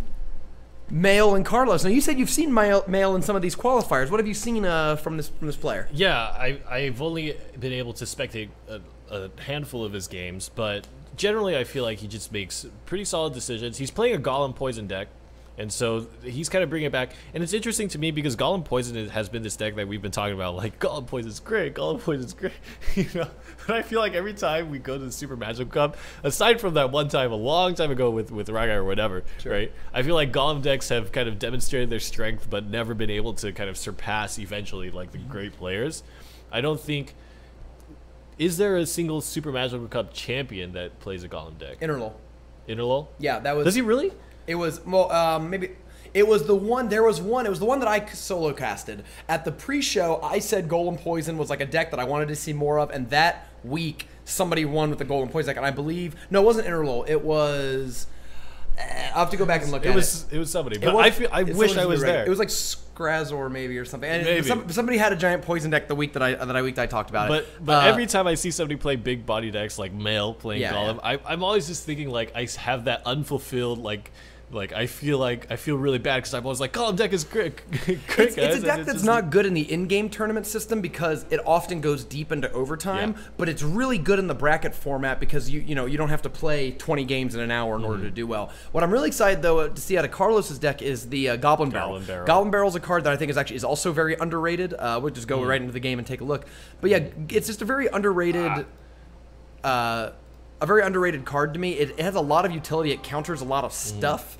Uh, yet it hasn't really found its spot yet and outside of maybe some of those uh, Sparky decks. Interestingly enough, and and I and I think it was Chester, but uh, and you might know he had a goblin he had a Goblin Barrel deck. I believe Chester. Yeah, it was. It was. It was definitely. Uh, it was YouTube Chester from last week. And he had some very, very amazing moments with the Goblin Barrel deck where he was losing the match for the majority of the time. The opponent made one mistake and his Goblin Barrel took down the tower and, and won him the match. There were, there were multiple times that that happened. So I, uh, for Carlos, I want to see the Goblin Barrel do big things for him. I really like seeing this card. What I what I think most people really underrate Goblin Barrel as it's a princess counter. Uh, he actually, oh, interesting how he's going to use it here. Oh, Oh, ooh. Kind of cool. So he's at the counter ready. Uh, the main uses I see for it is it counters princess. You Mm-hmm. dump the, the goblins right on their head, and they, they stab her to death right before the tower and uh, Yeah. princess shot kills her. So you can definitely do that. Um, it's also something great in zap bait decks. Like if you, I see, we've seen Goblin Barrel in decks like Sparky, Yeah. where you want to zap the Sparky, but then they also play Minion Horde, where you want to zap Yeah. the Minion Horde. They also play Goblin Barrel, where you want to zap the Goblin Barrel. Yeah, yeah, yeah. There's so many things that you would love to zap, but Uh then oh. if Looks you like oh oh they oh wow good. Unfortunate for Carlos, good for Male. The princess was played just a little too far away, and Oh, it allowed no. the princess to clean up the Valkyrie, and then they, they killed each other. Mm-hmm. If that was placed a little differently, Carlos's princess would have killed males and survived. It's super interesting that Male played the mini P.E.K.K.A. at the right time. The positioning was a little bit off. One of the goblins stabbed onto the tower and it did a ton of damage. So different to the miner. Whereas the miner, you know, even if you, as long as you place a unit in somewhat the right Yeah. location, you're act, you're not going to be losing, you know, 500, 600 health on your tower. One little mistake against Goblin Barrel and you lose a ton. Yeah, go- it's weird. It's uh, Miner is the tank, right? Yeah. Goblin Barrel's like the missile. you know, it's yeah. it- the damage is being dealt by a Goblin Barrel. They do serve similar purposes, like you're seeing right here. Oh no, this might hurt a lot. Wow! Oh, Oh, okay. but, even the then, Yeah. the zap was not enough. So that's one of the big reasons we've seen the decline of Golem decks in the ever since the 11th elixir went away. Is that now the most elixir you can have on defense is two. We saw Mm-hmm. Uh-oh. Carlos try to take advantage of that by playing the Hog Rider Goblin P.E.K.K.A.'s Barrel. gonna go to town. His mini P.E.K.K.A.'s going to town. uh-oh. Oh One. no! Two, that tower's gone. The tower's done. Yep. And the golem And he still has to do deal with a. Valkyrie and a princess and a gold. Oh, and the princess goes down. oh no! This is oh, looking no, like this is. not looking real good I don't even know if Carlos has enough damage in his deck to handle this. I think now. honestly he lost the game when that Hog Rider Goblin Barrel push got countered by like a zap, like Oh, pretty much a oh, he's- single He's zap. gonna get three crown. He is. He's actually gonna One get three shot. crown. One more shot from Princess. Oh, Ah no! shot. Oh no. The Golem decks. I love Golem, buddy. It's it's a good good archetype. It's really good in this format because those those big dangerous situations like Golem and then you play another Golem at the river. You when you have three minutes of overtime, you have a lot of situations Yeah. to help set that up. Yeah, and and the big thing about playing golem decks is that oftentimes your opponent will be pressuring your tower down in in a situation where where it's coming close to overtime and you feel like you need to defend and, and not lose your tower or else you lose a match and so a lot of times opponents will not allow you to get into that three minute overtime in a comfortable position where you can just keep playing golems but if you ever do you're you're done Yeah, no kidding. um, so we've got Trainer Chris and Patriots 34 up here. Really excited to see this matchup because we know match. both of these are, uh, I would say, kind of new stars of the in-game tournament system, Mm-hmm. right? Pe- players that maybe weren't on the community's wider radar until the Royale tournament week, Yeah. and suddenly they're just you know top three, top three, top ten, top ten. Like, who are these guys? Yeah. Uh, and I'm really excited to welcome both of them to the Super Magical Cup and see these uh, this premier matchup. I believe the winner of this matchup moves on to the top 16. It is only one one match away from uh, the top eight. advancing Yeah. yeah advancing out of groups So we've got Trainer Chris and Patriots. Trainer Chris running uh, a giant poison deck. We've, we've seen, you know, we, we mentioned Clyde was one of the big creators of this uh, archetype. Anything stand out to you about this list right here? Uh, giant poison. Patriots running a, a miner deck without kind of the furnace. He he's got the fire spirit card. Yeah. But it it seems so. This was something super interesting. I think about Interlol too. I believe it was Interlol. He had just a very very very very vanilla deck. There was just not anything super notable about it, Yeah. and he was winning games just by playing good Clash Royale, kind of harkening back to the the foundation, the the Jason the Giant. Yeah. You know, play style. Tanky stuff up front, big damage stuff Yeah. in the back. Yeah, and just nothing, nothing tricky, nothing really, uh, and I wouldn't even say gimmicky, but nothing like very overly strong in one way or another. He's just playing your elixir game. He's just playing the lines of play, and and he's trying to rely on that to win. And I think that's super interesting. That I feel like now you know with Interlol and with Patriots, they're starting to the, the, this playstyle is starting to pop up, and I think this is this could turn into something that is going to be considered a balanced playstyle. Okay. So that. interesting, interesting to see. I, I wonder if it could happen. It, it would be very interesting to me if it, if it did happen. But I like that. And I, I want to be. I think the key things here is that Patriots is going to really surprise trainer Chris with this Inferno Tower, Yeah. and it'll come down to whether or not Chris can set up a push with guards or barbs in front mm-hmm. of the giant in order to get around those Inferno Towers. Because as long as the Inferno Tower is up and fighting, there's really no hope for that Yeah. giant to hit the tower. Yeah, yeah, it really really hampers your ability to do big body pushes.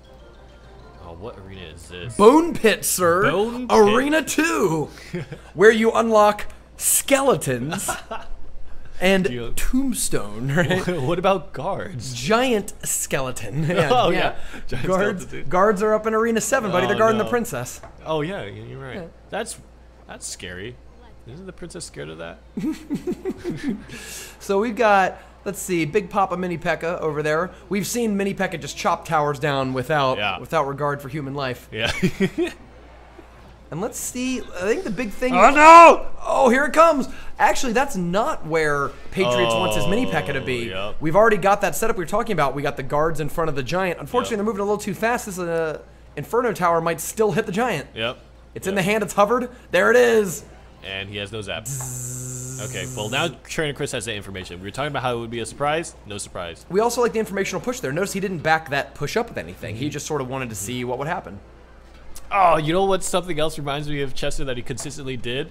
He would consistently play miners on the inside of the map, and then mm-hmm. And then players started letting it hit the king tower. And I think it happened like three or four times. Oh, is he playing it down in the like Yeah. the corners towards the yeah, king and like three or four times he activated the king. And the worst part was he was playing a hog rider deck. Oh no, yeah.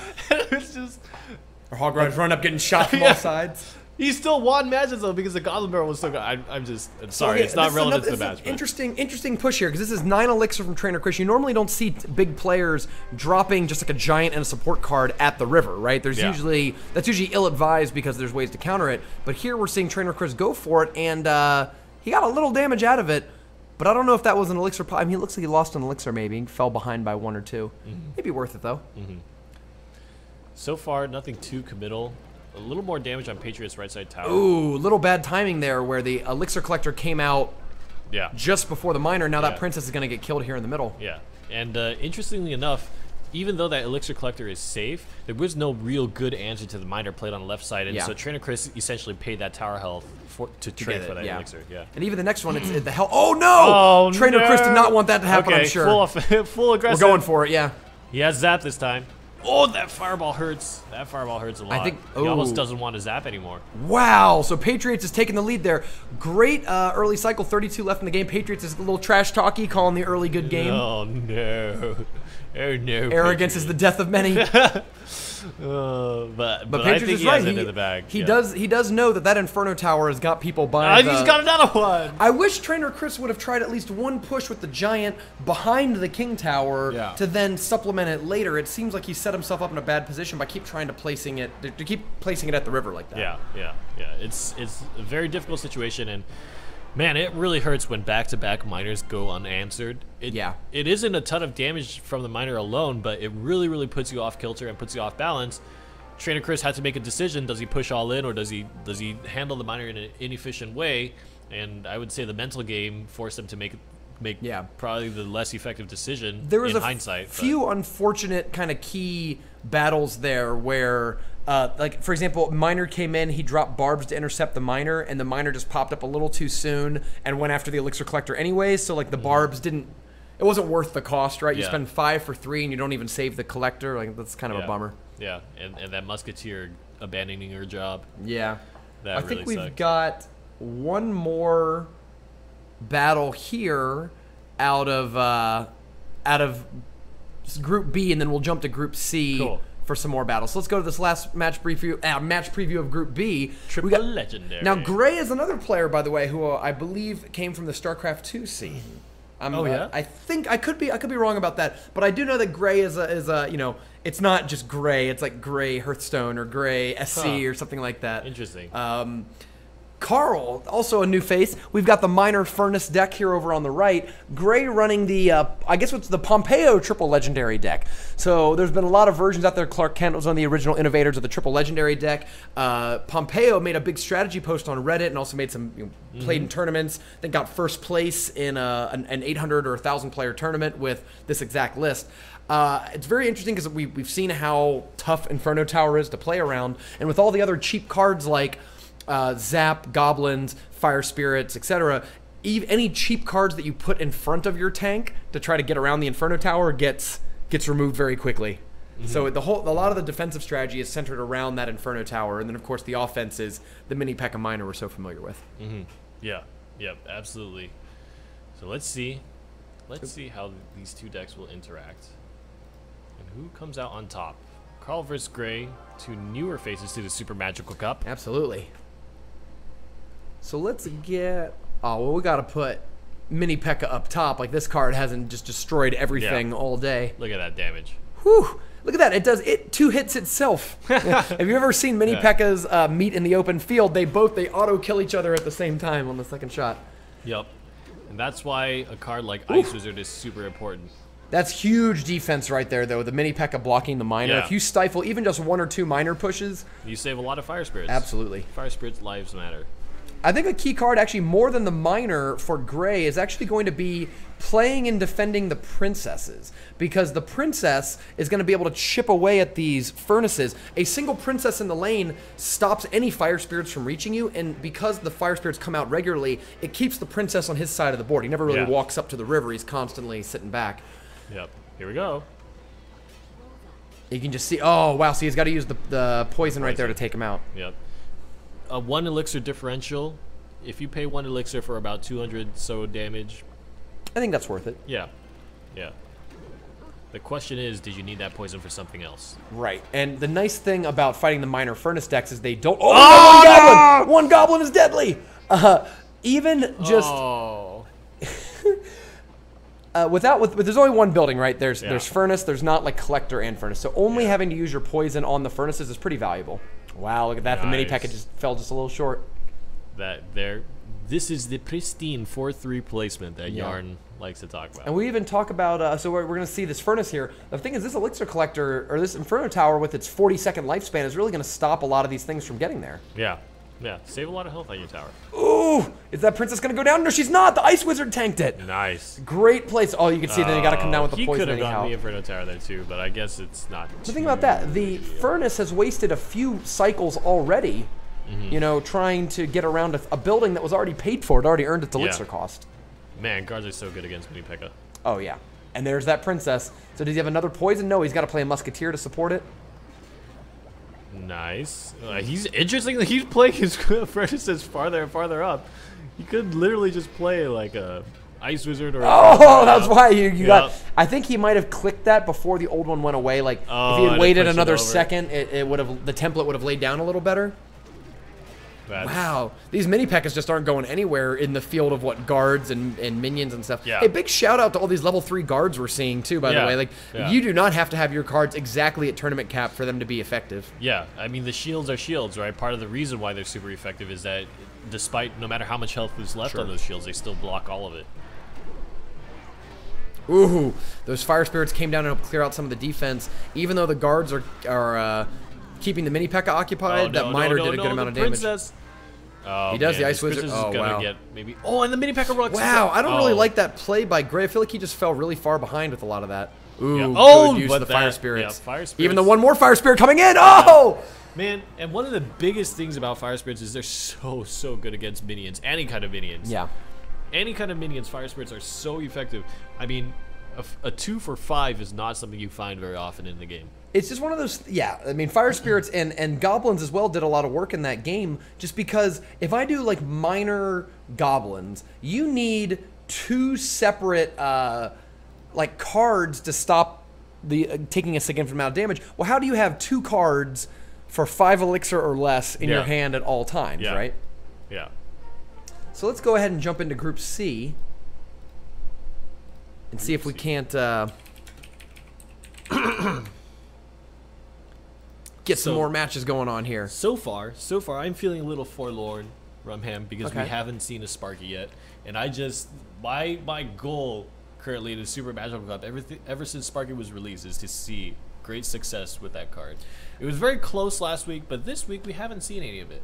Yeah, it's it's a fun card. I actually think the card's like perfectly fine because it's a terror to in, in like the lower trophy levels. It's one of those cards that really teaches you, hey, if you misplay against this card, you're gonna you're gonna hurt really bad. But if you come up with a really good game plan and you execute it perfectly, you won't take damage. Mm-hmm. I I don't think that every card needs to be a tournament terror. I think Sparky does enough work in like easy to medium level like low to medium skill level environments i think the really th- the thing that hurts sparky is that you just have the best players in the world so a card like that that's expensive and fragile there's only so much you can do to prevent good players from playing around it Yeah.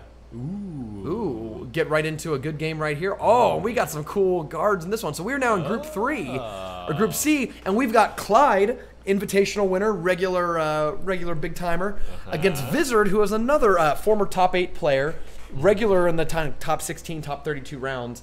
Uh, we've got Lava Hound against a giant poison deck. Lava Hound Miner is always kind of it's Hmm. the pseudo double Lava Hound effect for very cheap.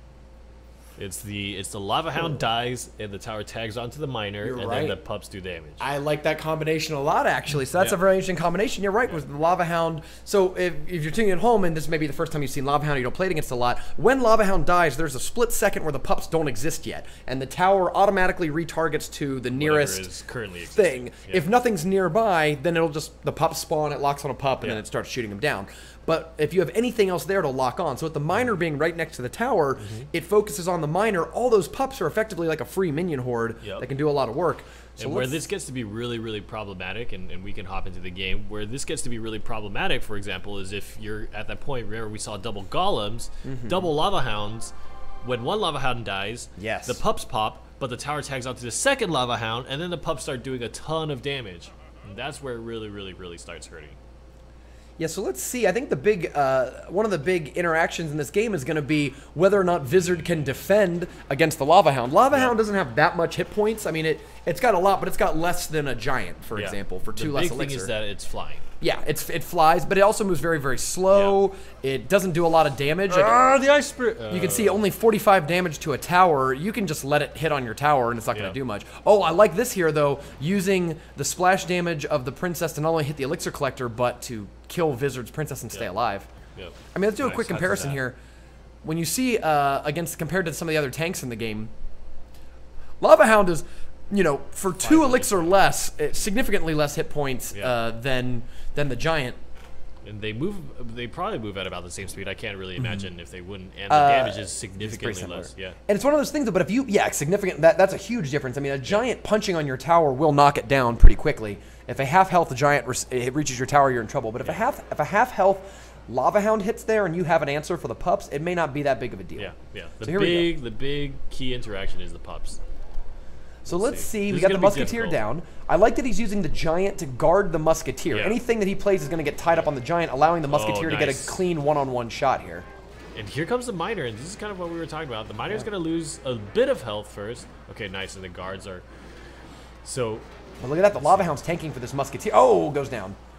and the pups do a good job handling the uh, the musketeer, but ultimately not really the lava hound push you want to see. Every time you Yeah. commit to a lava hound, you want to make sure it gets to the tower and does a good amount of damage because you only have a li- limited number of tries. You can only lava hound maybe two, three times a game. Yeah. No, I, I- think that what we saw there was perfect defense by Vizard, where he used the musketeer and the princess to shoot the attackers, and used the giant mostly as just a wall to guard his musketeer. Because if the musketeer goes down, you're in real big trouble. But by using that just to buy time, five elixir to buy time, it allowed the princess and the musketeer to clean up a lot of uh, what the what offense he was bringing. Here comes a gambit. Both players played big cards in the back.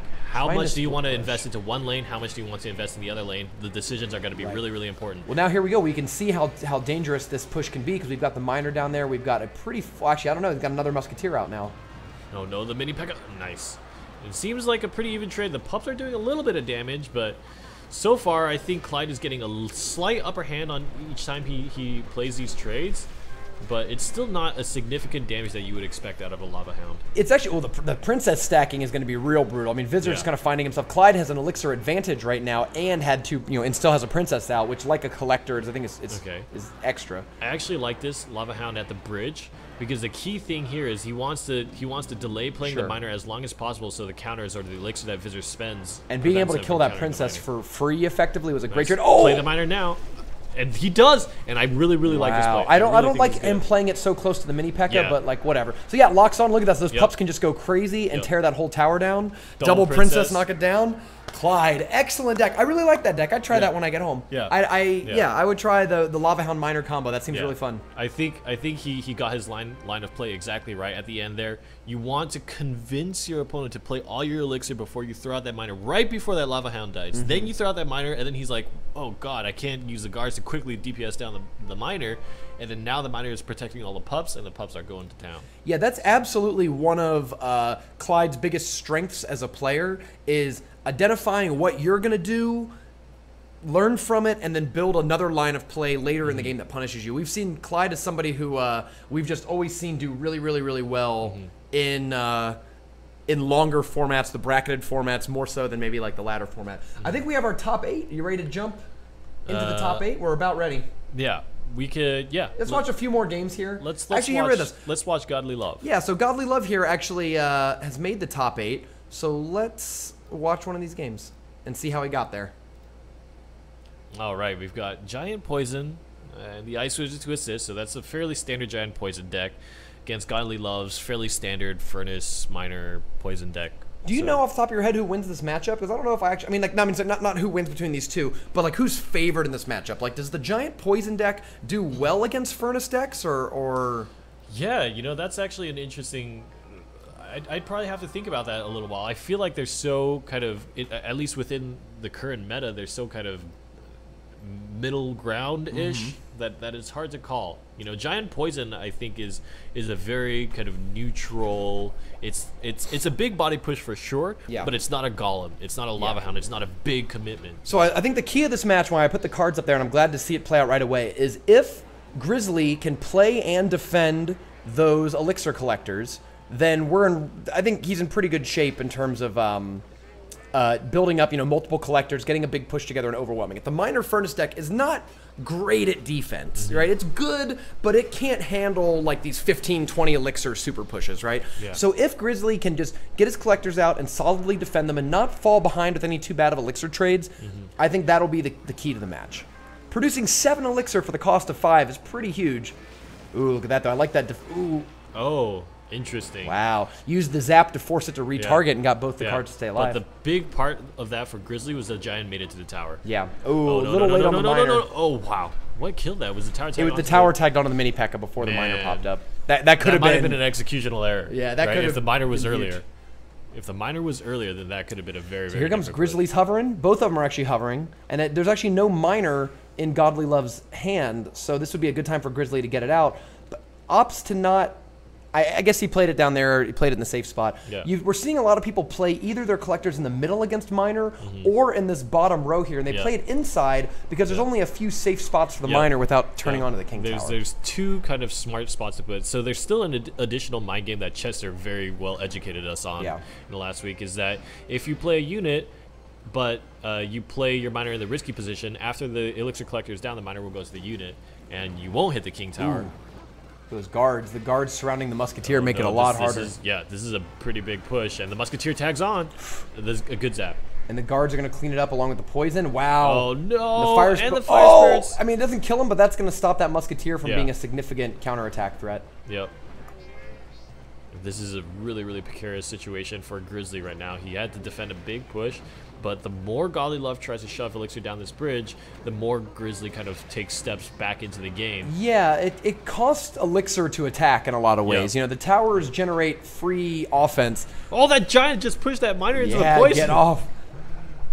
I don't think the furnace was a good play against the giant because the giant can absorb so many of those pushes and Yeah. still punch down the furnace. I don't know if that's really the card you want to be playing. Okay, there's going to be Mini P.E.K.K.A against the Musketeer, but there's a Mini P.E.K.K.A in the back to protect.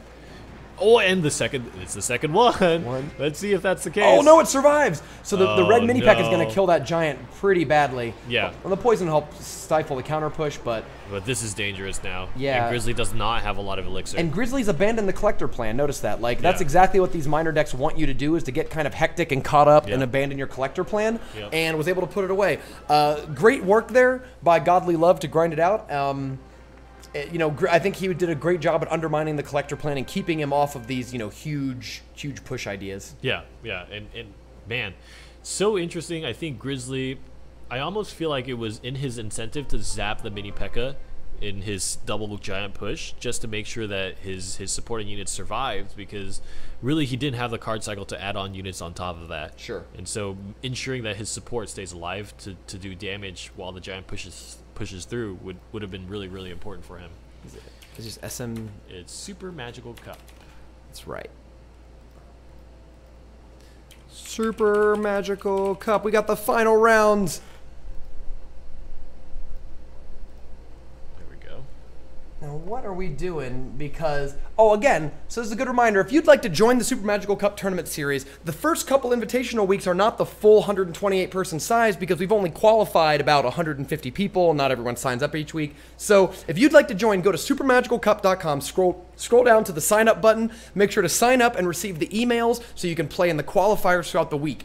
The top players of the qualifiers earn qualifier points, and you only need like any points basically to sign up. Although we're going to favor the you know the, the more points, more more point people. But since we're not filling up the full 128 right now, any points gets you in. Yeah. So play in any of these qualifiers, do well, get in, uh, and I believe we can start the top eight pretty soon. Yeah, yeah. I think uh, I think we will. So let's let's take a look at. Hmm, I think we're actually. All right, matches may begin Yeah. now. Awesome. Cool. I, I I'm really interested to see who moved on and if for I see a few people talking about it, but Yeah, let's take a look. Actually, here we on? can we can pull up the. Oh, he uh, did. Cool. Yeah. So we've got CMC Hugh, a member of Elite Gaming. Actually, let's pull it up. Member of oh, he's not he's, well, he's not in Elite Gaming right now, obviously, but he's uh, a member of Elite Gaming. Very, very, very powerful Oh in tournaments. Look at that, sixty-seven thousand cards and over a thousand tournament matches played already. Keep in mind, yeah. He lives So CMC Hugh is uh, is a no jokester. Godly Love, who got here. Uh, see high trophies of almost four thousand. Twenty-two thousand cards. Yeah. I mean, no one in the Super Magical Cup is a chump in tournaments, right? We know that much. 22 Ks are significantly higher than I've ever earned. Oh my gosh. Gorsh. Santi. Two two point seven k. 2.7, That's yeah. a little more down to earth. Yeah, a little more, a little more relatable. A relatively new player too. A thousand wins in lifetime. yeah. 3600. well. Trader Chris and Nick. Oh yeah, Trainer Chris and Trainer Nick. Yep. 46 46,000. Yeah. no kidding. High of 4,000. 5,000 one. Also around 4,000. A lot of miner decks in the top so far. Yeah. Gray, who we looked at as well, 3,400. These are all very respectable amounts. Almost eh, notice that even the free to play players, no one is really below like 3,500 Yeah. high trophies. Yeah. Oh, look at this. Oh, Clyde just getting a tournament cap. I hope.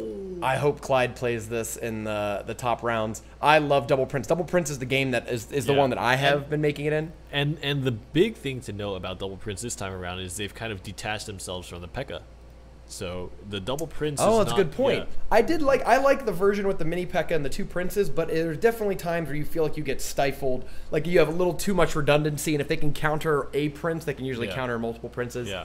But it'll be cool to see how that goes. I like the Ice Spirit use in that deck. That'll be really cool. So I think we're gonna live spectate the first game, and then we'll start Mm-hmm. watching the the replays. You know, just as a side note while we're waiting here, I'm also very, very interested. One of the things that we said when we first saw the cards from him was Mm-hmm. that the Lumberjack was kind of a pseudo mini P.E.K.K.A. And mini P.E.K.K.A. being so important in the meta Yeah. these days, I'm really curious why people haven't adopted the Lumberjack a little more.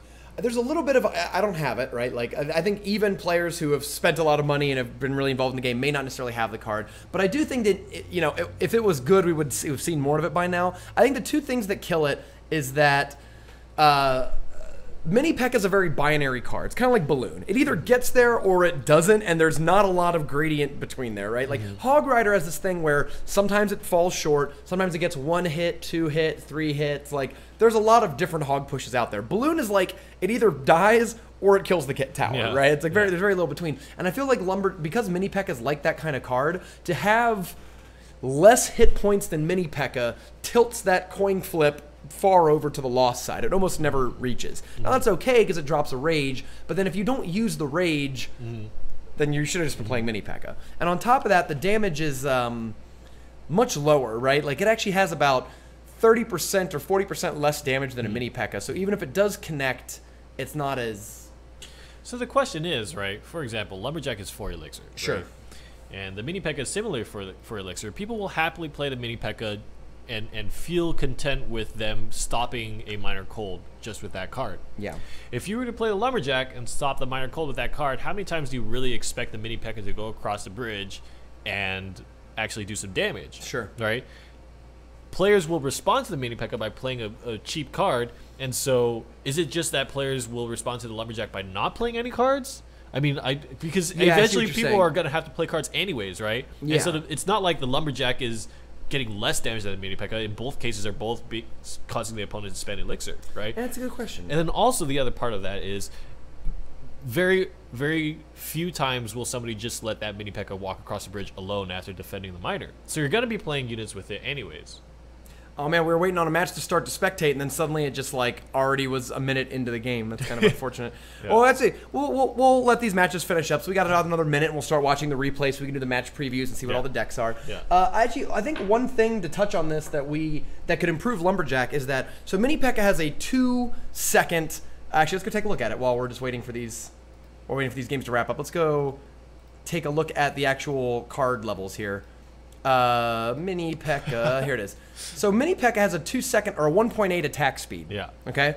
But Lumberjack has a 1.1 attack speed. So even though it's Oh. faster, like the DPS is lower, but the it's a faster attack speed, so Yeah. maybe it's a little more flexible. I could see if they wanted to both up the damage and make Lumberjack even that much less weak, I guess, to quick attacking cards, is you could lower its hit speed to something like 0.8 or 0.75 or something mm-hmm. like that, where even if the DPS was similar or a little higher than it currently is, the important thing is that I couldn't just drop like skeletons, goblins, spear goblin, the same sort of stuff that you use to counter mini P.E.K.K.A. Mm-hmm. wouldn't work on Lumberjack because he's just like whack, whack, whack. And keeps Yeah. moving, right? Huh. I think that would be a good way to separate those two cards and make them mechanically distinct while being sort of mm-hmm. similar hit points wise. Because I think the big problem is that if you know, if, if Mini Peck is the only card that gets easily beat up and distracted in your entire deck, then it never gets through Yeah. ever. But if you could put it along with a lot of a lot of other swarmy, fast attacking units, Mm-hmm. it would just be different. Yeah, and it's kind of one of the, the those things where you're always thinking about. I'm always thinking about okay, people will play like Double Prince Miner, people will play Double Prince X, right? What happens when you play Double Prince Lumberjack? Right? Sure. The idea of like, well, the whole thing about the Double Prince is that people play chump cards. The Dark Prince goes in and charges the chump cards, and then the princes continue on their way to attack the tower. Mm-hmm. Add in the fact that rage interacts really well with charge and, and kind of the speed mechanics ad- interact very dramatically with the prince's charges right? So like i feel like the lumberjack is a very natural kind of addition to that right? You play the lumberjack on defense and then you as the lumberjack moves across the bridge you play your double princes and then you just let your opponent try to stop the, Yeah. the splash damage you know and, and the then minions behind it are this yeah, Yeah. it's almost like a miner deck in that regard. yeah All right, well, let's get into the top eight. Well, really, the top six. So we had three clans going Yeah. here. So we have a top Yeah. six this week. Uh, so again, sign up at Super Magical Cup, play in the qualifiers. You could be here next week, and don't worry about the in construction studio because in about a month we're gonna have the coolest set. We've already seen it. You cannot believe how cool Yeah. it's gonna be. You're really gonna want to be a part of Super Magical Cup. So sign up. Let's get into the top six. Rainy. We got Godly Love versus Trainer Chris. We have uh, a relatively new name on the scene, Godly Love, against one of the most accomplished tournament players in the game right now, Trainer Chris. What do you see in these two decks? So minor deck with the Inferno Tower. I mean, this is kind of. I feel like Trainer Chris is building a deck that is just very, very uh, vanilla, uh, again, right? Like uh, he has two of the three legendaries, but it's not a triple legendary deck. He's kind of got the mini P.E.K.K.A. the guards. He's using Sort of like, looks like Pompeyo's deck, but not really. kind yeah, of thing. yeah, It's kind of like I, I think he's just leaning on playing better Mm-hmm. than his opponent to defeat him. There's not really a particular edge, but there's not really a particular weakness to his deck either. I, I think this game is going to come down to miners and poisons because I don't see how either deck is going to significantly make like mini P.E.K.K.A. or like mini P.E.K.K.A. progress on each other. I don't see how these musketeers and mini P.E.K.K.A.s and princesses do significant amounts of Yeah. damage with all of the poisons, fireballs, towers, etc. on Yeah. each side. Yeah. So we'll see how this game comes down. But I, I my estimate is that this might be a grinder, buddy. Yeah, yeah, maybe. And and I'm really interested to see how Crater Triss makes this or Crater Triss. Craner, yeah. Trainer Chris makes his deck work. So here we go, right away. I think actually what might be key for Godly Love is actually that Musketeer. Because the Musketeer can shoot down princesses, Mm-hmm. it can uh, work not just on defense, but as a very powerful offensive card. I mean, we've an unanswered Musketeer does a ton of damage. Oh, Was that the point? Oh, I see. He kind of, I think he wanted, Oh, he's trying to make a read. He's trying to make a read there. That was a little bit of poker we saw. Yeah, but I think it was a good bet that was kind of hedged. Or I don't know if that's that's the right term because Yeah. the furnace was there. He was going to get the fireball on both the furnace. Right. I think it was. I think that was exactly it. Right. He's Yeah. thinking like, well, I'll at least fireball the furnace, which might be something that I'm interested in doing, and there's a decent upside that I get like anything. Right. Yeah, yeah, interesting. But Godly Love takes all that damage and chooses to play a collector. Ooh, I like Trainer Chris trying to go on the inside there, Yeah, trying to, yeah, he's trying to make the outthink it. He's trying to make. the Keep in read. mind, guys, uh, one thing that I've actually I've noticed is you know obviously a lot of miner in the environment right now. Miner is getting nerfed in the next balance update. Supercell Oh, the confirmed deploy time? the deploy time was an accident. So right now, miner has a deploy time of 0.7 seconds instead of one second. Every card in the game is a one second deploy time, unless it's like a expo or something. Mm-hmm. That miner accidentally is 0.7. It was just uh, you know keyboard fat finger something like that. Oh, no. So it will be replaced uh, up back up to one second, and I'll I think that we're going to see a lot less miner. Maybe not a lot less, but miner will be easily countered, so you'll see more Yeah, variety. I guess. In the I mean, in this situation, the miner would have tagged onto the guards instead of the collector. yeah, That's, absolutely. That's the difference. Yeah. I mean, a third of a second's huge, right? Yeah. Yeah. All right. So far, it's going just as planned. Rumham. Both players Fireballs are and yeah. slapping each other with wet noodles. I you know big shout out though to how well the furnace is. Uh, the furnace has chipped through a little bit of damage here and there. Yeah. Look at that musketeer that we talked about. That Yeah. musket. I mean, that's It's like three shots? Three shots is almost 500 damage, right? That's Yep. significant. Yep. Interesting. So this time, Trainer Chris did the same move. Instead of using Fireball, he used Zap. Yeah, he's gonna like, I'm just gonna, you know, I'm gonna try it again, but do a lower risk, lower commitment. Notice, do you see this little buggy thing happening with the tower there on the inf- on the uh, fire spirits against the Inferno tower? One of the tower is shooting at a fire spirit, but it's like not connecting. Like it's like it's like shooting at the first fire spirit, it's dying, and then the arrow just like hits the ground. Yeah. Yeah. This That's is weird. That's allowed the Inferno tower to actually take hits from the fire spirits of the furnace. Yeah. And, and man, you know, Trainer Chris actually with his consistent miner on the tower and not the furnace has actually chewed through quite a lot of health on, the, on that I mean, tower. At some point, you gotta actually punch someone through, and if you're eating poisons and fireballs all game, like you're gonna have to start mining the tower. I think this is a good situation for him to actually be able to miner the furnace Oh, in the back, Oh, and then no, maybe no, still no. hit the tower. But oh no, not against all this. Uh, no. Uh oh. Not like this. Yeah, this is it, buddy. This Yeah, is, there's a lot of cards coming that down. And the musketeer's miner. just shooting, shooting, oh, shooting. God. Godly love with the upset over Trainer Chris in game one. He has four digit cards won in tournaments, but he's still beating beating people up.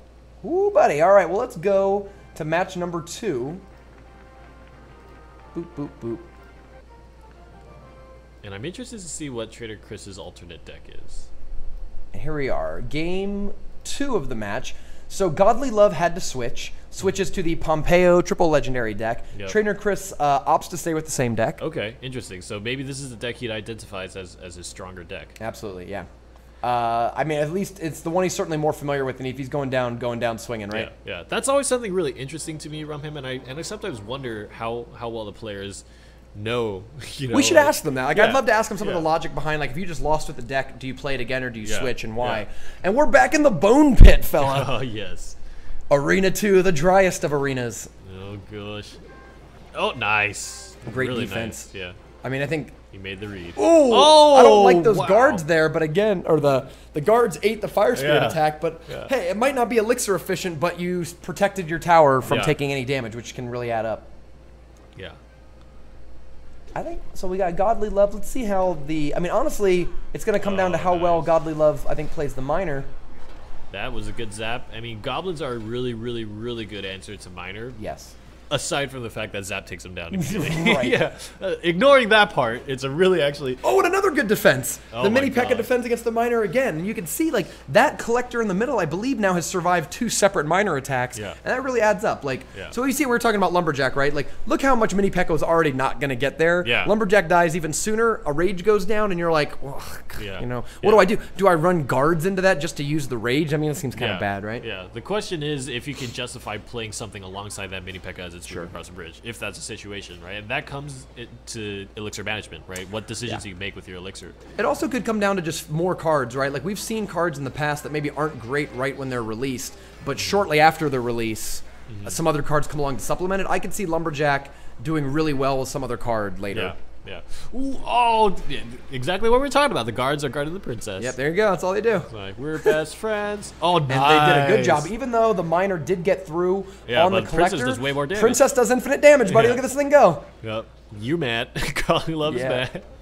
That was good. That, would was have been really a good, time. princess Yeah, play. of course. Like, and especially Chris, if he wanted to, could have dropped his princess down to shoot Godly Loves Princess and actually keep that pressure Yeah. up. And actually is going to opt to do that. Yeah. So here comes the princess down. Now, if you see, Godly Love just got out of that. Just got out of that annoying, like, oh man. Yeah. the princess is going Oh, no. Good guess. And the fireball knocks the mini P.E.K.K.A. back. Oh, just for one more hit. But look at The that. splash, maybe. Yeah, it will. Uh, it One more shot. No, it does. Oh, he gets one more shot. Nice. All right. Once again, Mini Pecker- do a good job. Trainer Chris is not falling for it this game Yeah, as much as he was last time. And that yeah. those those miners got to go. Yeah. What I always find so hilarious. That once again, the, the princess trainer Chris has really have the princess advantage in this game. Nice. Nice, and the fireball done and done. Now just Wow, and I think he might even up. hit that. Oh, and they're gonna trade off there too. Oh, good. He's using the extended drop zone to, to Yes. make sure threats don't come across the bridge. Uh oh, uh oh. And the mini peck is a little late. Oh no, it's right on There's a time that time. There There's you a go. zap. Oh, nice. Nice. Play it safe. Yep. Very good. You might need that zap later. Yeah, yeah. And it's it's done. It's over. Trainer Chris does it. Nice. Ties it up, play. one and one. Solid play, and uh, that's what we were talking about. About like with a vanilla deck with a balanced play style, it's just all about making the right decisions. Trainer Chris defended those miners very, very handily, protected his elixir collectors. He guarded his princess well, and just like made sure that every single elixir that he was committing to the board was getting good effectiveness. All right, and here we go. We've got game three of their matchups. Let's do the match preview real quick. Trainer Chris's other deck is the uh, the giant poison deck that we saw Oh, okay, yeah, earlier yeah. Uh, against the miner furnace. Again, uh, I think this comes down to how. I mean, we saw Trainer Chris defend his elixir collectors really well Yeah, last game. I think we might be another one of those where if he can get his collectors out, get the big push out, can overcome this furnace deck. I think we saw Godly Love beat someone earlier who managed to not do that very well. They, they went off the, uh, I think it was Grizzly or whatever, went off the collector plan, kind of forgot that. So Mm-hmm. Yeah. let's see if Trainer Chris uh, does it any better. You know something interesting that just popped in my head that that just thinking about when you play a goblin barrel, for example, on your tower, the goblins separate. Yes. I wonder if that would be a really good miner defense if you played it on your elixir collector. If you could get them to surround the elixir collector. That's a good point. I wonder if that's a thing. I again, that- that's another reason why I think Goblin Barrel is one of the more underrated cards right now. Is that there's a lot of weird utility things that people haven't quite discovered. If you remember, it took a while for people to realize that you could use skeletons to defend against like minion horde Yeah. by pulling half the horde across the field. It just wasn't. It just wasn't an obvious interaction, Yeah. right? That I could see people trying out more Goblin Barrel stuff as time goes on. I mean, Goblin Barrel is actually great at like Miner at attacking Elixir Collector. Yeah. So you can actually miner and throw Goblin Barrel, not even at the same plot, but like in different sides, Yeah. and they have to figure out what they're what Yeah. they're reacting to. Yeah. I love the poison or fireball to go along with the miner because not only do you take the tower down, but look at that, those barbarians are done. Yep. And this musketeer is gonna. Oh no! Giving up on ah, the job. The tower's okay. got him, yeah. Yep. Tower, the musketeer didn't even need to be played, to be honest. It was Yeah. nice. Yeah. At the split, the split fire spirits. I didn't even know that could happen. one was was Oh, one- drifting towards the the barbarian, yeah, yeah. and then it went away. I was like, how does that even happen? Uh, that's a, that's This is a pretty big sizable push, yeah, even without the elixir collector. guards against guards, and the princess is in the and the the musketeer looks like she might be defended. Oh, she does. So the Trainer musketeer Chris gets to shoot. again. I mean, princess guard combination is really, really doing well for Trainer Chris. Yeah. I mean, it takes so many shots. Look at this. Each each thing takes four shots to kill, so they're taking two shots each now, even after the zap. Uh oh, miner walking across the map, but there's nothing to help. Good. Yeah, the miner itself isn't too threatening. It's only doing 40 damage a shot, or 64 damage a shot. I'm sorry, but that allowed him to play the elixir collector, knowing that at the very earliest, it's a full cycle away. Yeah. And do you even want to poison this side now when the other side is down to 1200 health? The Yeah. poisons kind of have to start going towards that side if you want to win in the next you know minute and a half or whatever. Yeah, and you're already down on your side. You know, it's Yeah. not like you're you're you have all the time in the world. Just in the sense of your opponent's going to Mm-hmm. defeat your tower. So once it hits that overtime and you're down one tower, you lose. But this could work for Godly Love here because if Godly Love can just build up a defense against this push, it'll naturally have units in the lane to counter push with, and even low health Yeah. musketeers or whatever will be good enough with a miner to take down that tower. Ooh, that princess into the guard seems really strong. Is it in range of? Oh no, it's not in range of the furnace. It walks into the. Oh, and it's it okay. survives! It's okay. Oh the no. princess looked like she was about to walk in and die to the uh, Yeah. poison, but was able to Yeah. survive there. Yeah, Ooh, again, not look. Oh, actually, good barbarians, and the barbarians dodge the poison pretty much altogether. nice. And another princess outside of the poison radius, and this might this might hurt Godly Love a lot. Oh, the miner. Okay. Oh, pulls back some of Uh, that stuff. Oh no, the front. guards do not survive in a poison very long. Yep. Yep. But And the that- giant makes it. That. Ooh, that's it. I mean, this is the difference we were talking about between Giant and Lava Hound. Yeah. Lava Hound does not really kill a tower with any real speed, but a Giant, if it makes it there, can do significant damage. And of Yeah. course, the low, the unzappable guards are helping. Like Yeah. guards Yeah. are uh, more than skeletons, less than goblins in terms of their attack. But we know how scary goblins are when they lock onto your tower. And is there enough time left? Oh, this wasn't enough time for the poisoned miner to take it down. So Godly Love, as expected from Tournament Cards One, he made a good first attempt, won one match, but was not able to take the series, and Trainer Chris will advance. Trainer Chris advances two to one after losing, yeah, game one to Godly Love. Hey, congratulations to Godly Love. Come back for uh, the future future tournaments for sure. And let's take a look at what's the next match you want to watch. I kind of want to see CMC Hugh Trainer Nick. Yeah, yeah. Let's go ahead and take a look at that. Make sure we got Let's the first one here. Here it is. game. is. This is the one we were waiting on, and then the uh, kind of got bugged out in game. Ooh, triple legendary versus miner furnace. Kind of been the story of this week's tournament. We've seen a lot of miner furnace. That's the lightning. That's the Oh, lightning. whoa! That's the lightning we're talking about. So okay, Rocket. We saw Woody last week win with Rocket, a relatively Uh-huh. underused card because it happens to punish the Elixir Collector meta, a lot of the other meta games. I'm actually really excited to see Lightning because I, I prefer Lightning to Rocket overall. It does it doesn't straight up kill an Elixir Collector, but it does six of the seven pumps. So like Mm-hmm. you can mostly wipe it out. But it's so good against these like Mini P.E.K.K.A, Ice Wizard, Musketeer defenses that we see because you can just for six Elixir be like okay boop boop boop like Yeah. wipe out 10 elixir worth of stuff. Let's um I hope we see a good lightning. Hope we see a sick lightning in this game for sure. Yeah, yeah. I agree. And of course the ice spirit on the other side, can't throw that one away. Oh, and it's perfect. Oh wow. We're in the frozen arena with the ice spirit deck. So CMC Hugh, uh, you know, obviously his miner usage is going to be really important. I am dying to see this lightning and what that's going to do. Early Yeah. good defense by CMC Hugh. Yep. Oh. Oh. Yep. So furnace mini P.E.K.K.A tower, very reasonable. Yeah. I mean, that's even if you count the furnace is only like two or three elixir left, that's at least seven elixir wiped off the board Mm-hmm. plus the tower. Yep. Now, granted, he played the miner already though.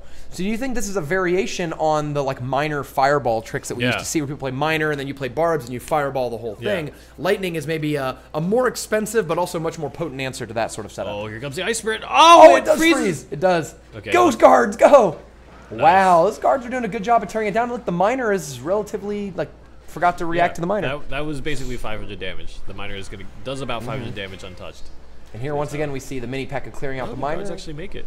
it's actually look doesn't even not going to stop the ice wizard, but pretty good. The guards themselves do about 500 damage if they just walk up. I never Oh, knew really? That. Yeah.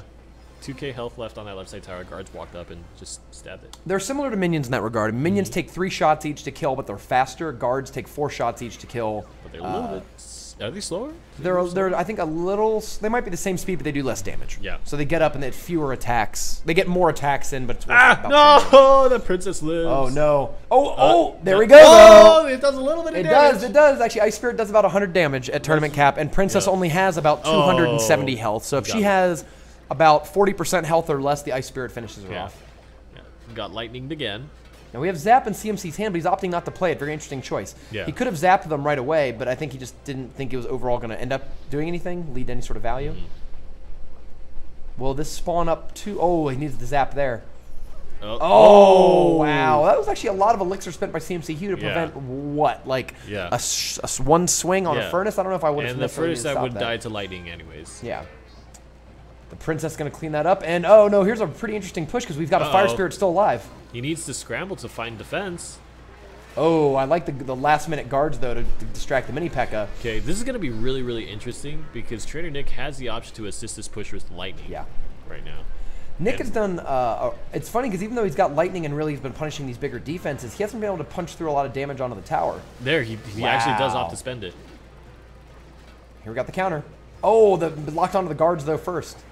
One guard will make it up there and start doing damage. Look at that. I'm at about 80 damage a swing. Yeah, that's that's actually Pretty it's reasonable. very similar to that whole minions discussion that we were having. It's it's much the same. If you have one little cheap unit that does Yeah. a good amount of damage just alive, it adds up a lot. And we talked about just playing not to lose at this point. I think CMC Hugh is can win purely on just poison. Whoa, maybe not. But I was gonna say just purely on the poison and uh, other things. But here we are in overtime. Yes, that's it. He's gonna take it home. That's it. The lightning, man. The lightning was strong, and the ideal situation was if if uh, Trainer Nick could have caught the mini P.E.K.K.A. and the Musketeer with the lightning. The important thing to know about lightning is it takes the highest health units. Yes, and so actually the guards were a non-factor in that scenario. The lightning, I feel like, would, would have been much better spent on that clump of units just to make sure all you're dealing with is the miner and then the guards. This, this is one you're really gonna like. Trainer Trainer Nick Yes! switches to his other deck. So CMC Hugh wins. CMC Hugh must switch decks. Trainer Nick opts to switch decks to his other deck using Buh, Sparky and, And Log. Yes. So here we are.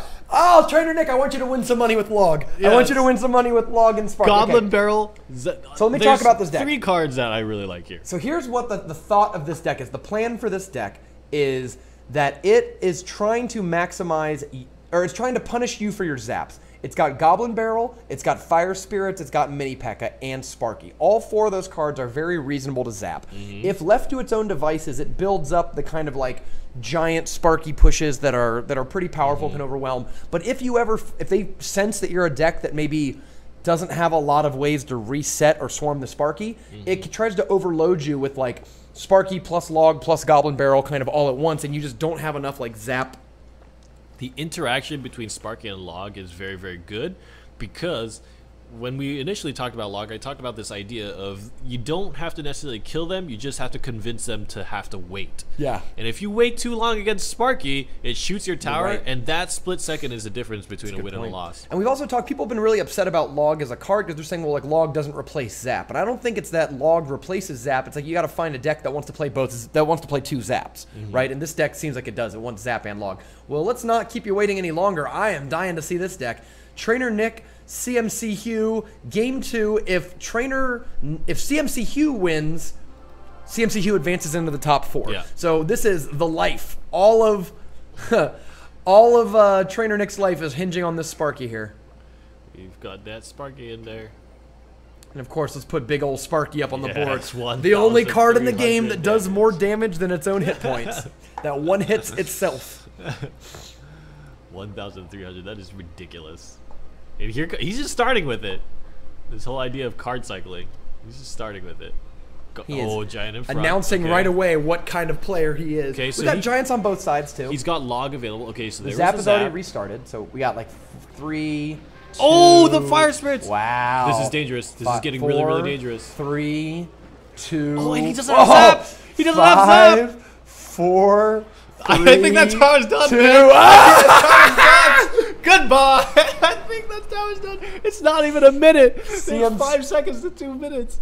CMC Hugh doesn't have zap in the deck. Oh no, he does have zap. He- used, he it, he used used it it. early. He used it early. So here we go. I don't know if CMC Hugh has a lot of experience against these zap bait decks. Oh my god! And even if you are, what do you do? What do you decide to zap? There's so many things you have to zap. Actually, I think you. I think he's going to want to start poisoning the Sparky and not worry about zapping the Sparky, but starting to put the giant in front of the Sparky, right? Like, Yeah. like like plop it in front and just let it take like two shots while everything Yeah. else is killing it. the giant can actually be played in the aggressive extended drop zone territory to tank both towers Yeah. immediately. Will Trainer Nick opt to do that? He might be incentivized to keep it near the Sparky instead. It looks like they're just going to swing sides. Like it looks, like he's just going to counter push the other side and try to defend differently. I, I feel like So Trader zap again was used, but what was the point of that zap, right? So he, so CMC Hugh just zapped the Sparky, but why? Like Mm-hmm. that cannon didn't kill the giant, right? It didn't Yeah. kill the Sparky. I just feel like that might not be the best time for him to be zapping. Yeah, I think the big thing there for CMC Hugh was he was able to play his Musketeer late, Yes. and and the Musketeer tagged onto the Sparky. Whereas before he had already committed his Musketeer, and his defense choice was the Mini P.E.K.K.A.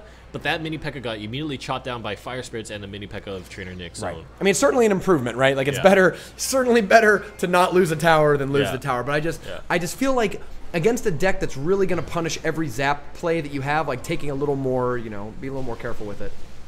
nice, interesting use of the log.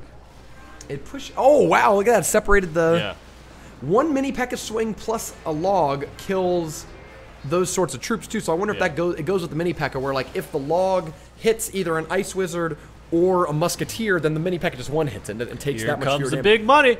Was the zap already the played? money. Yep. Oh, there. Oh, Zap's on the no! other side. So you can see how, how bad it is if you can't, you know.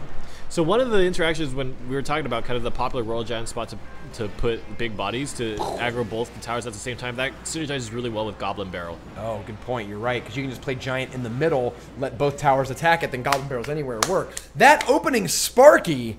Wow, wow, wow, wow, wow. So now we go to game three. Trainer Nick has to go back to his original deck, and CMC Yeah. Hughes stays the deck. The Sparky just comes out of nowhere to uh, to get that kill, and then goes right back into the deck box.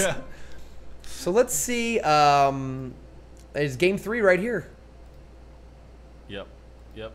Yep. So we'll get right into it. But as so we see the giant deck. poison deck against. Okay. Okay. Ooh, very interesting. Okay. Trainer Nick versus CMC Hugh. Let's get right into it.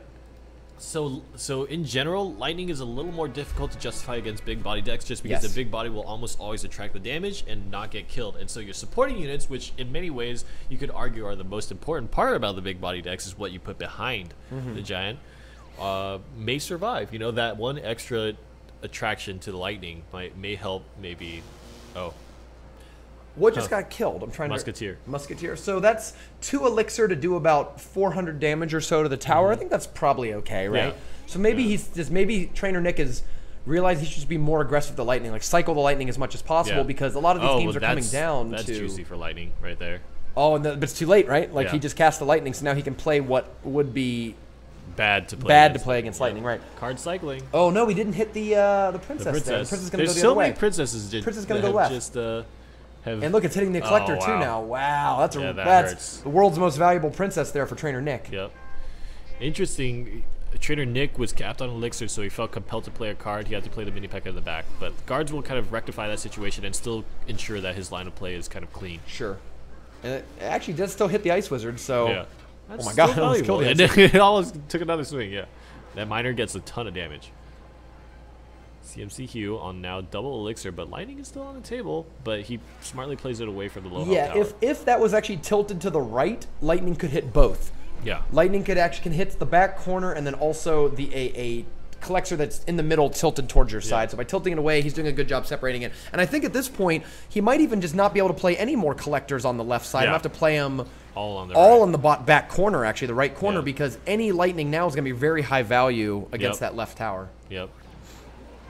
Oh no, here comes another. Yeah, you can see from the little highlight, the little stat things, those Inferno Towers are hard counters Yep. to Giants. They both cost five, except the Inferno Tower kills those things without taking pretty much any damage. Yeah, nice defense with the mini P.E.K.K.A. against the miner there. And CMC Hugh needs to be very, very, very careful that that tower does not get chipped any lower Yeah, because Inferno Tower goes down, I think, before. Yeah, perfect timing there, Yeah. so lets it get through. Yeah.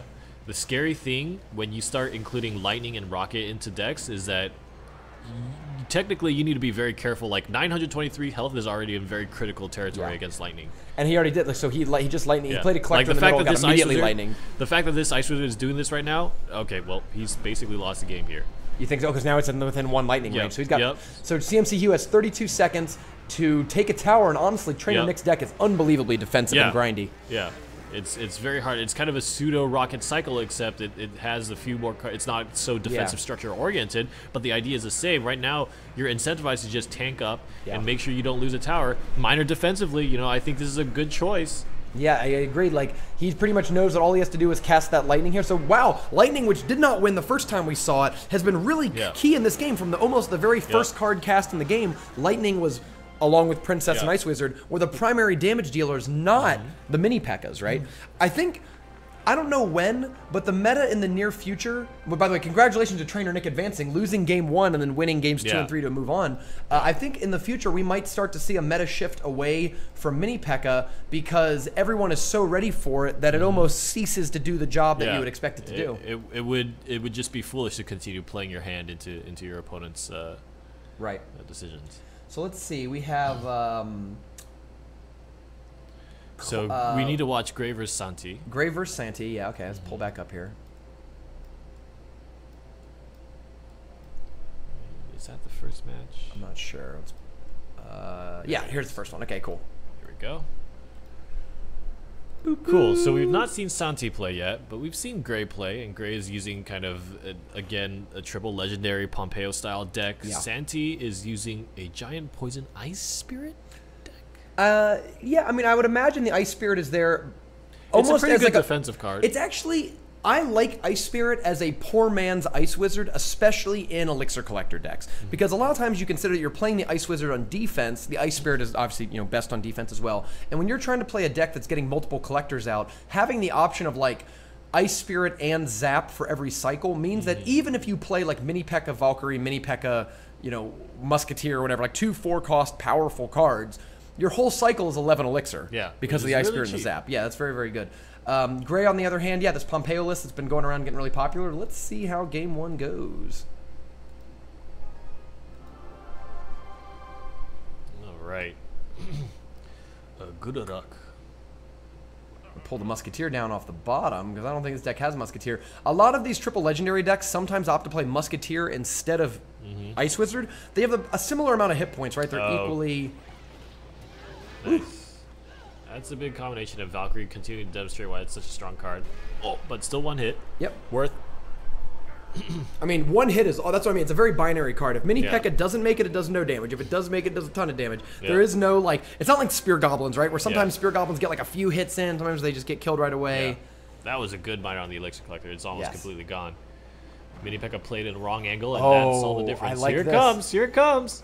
Oh wow! Oh, it does reach, and I think even though that thing will. Oh wow! I didn't actually get the second shot in. I say Yeah. even though that push got stifled, he only spent five elixir on it, and Yep. his opponent spent more in defense, Yeah. right? And now this Ice Wizard is at very, very low health. Ooh, those If fire spirits that- ground up. Mm-hmm.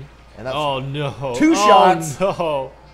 Ah man, I can't help but imagine that Santi's defense against these these mini Pekkas are just are just a little bit lacking. I mean, we were Well- talking about everybody's so ready for mini Pekka, but That's true. in the I case eat that my you're words. not, It's almost yeah. You certainly can't overlook it. I, I think that the defense here is supposed to be the ice spirit, but we've been seeing the ice spirit used on offense. Yeah. Musketeer can also work defensively because it just the extra shots with the tower shoot Yeah. it down before it hits the yeah, tower. and he's gonna use it aggressively again.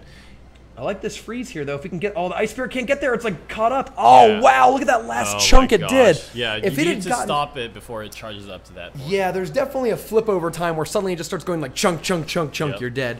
If somehow that could have gotten there two seconds earlier, didn't get caught up on the body of Yeah. the uh, giant, I think that that would have gone very differently. It's it's one of the big problems with playing uh, uh, Jason's giant Hog Rider combo is that the Hog Rider gets caught up behind the giant too. Yeah. You know, and it, and it really hurts. The giant is like uh, it's like three tiles wide. It's like a three by two tile placement or body or whatever. And so anything that's like a two by two or one by one gets caught up behind it and keeps you know has a hard time getting around. At this point, I think Gray might have already wrapped this matchup because he only needs uh, maybe a single princess shot plus a zap to take it home. It's very close.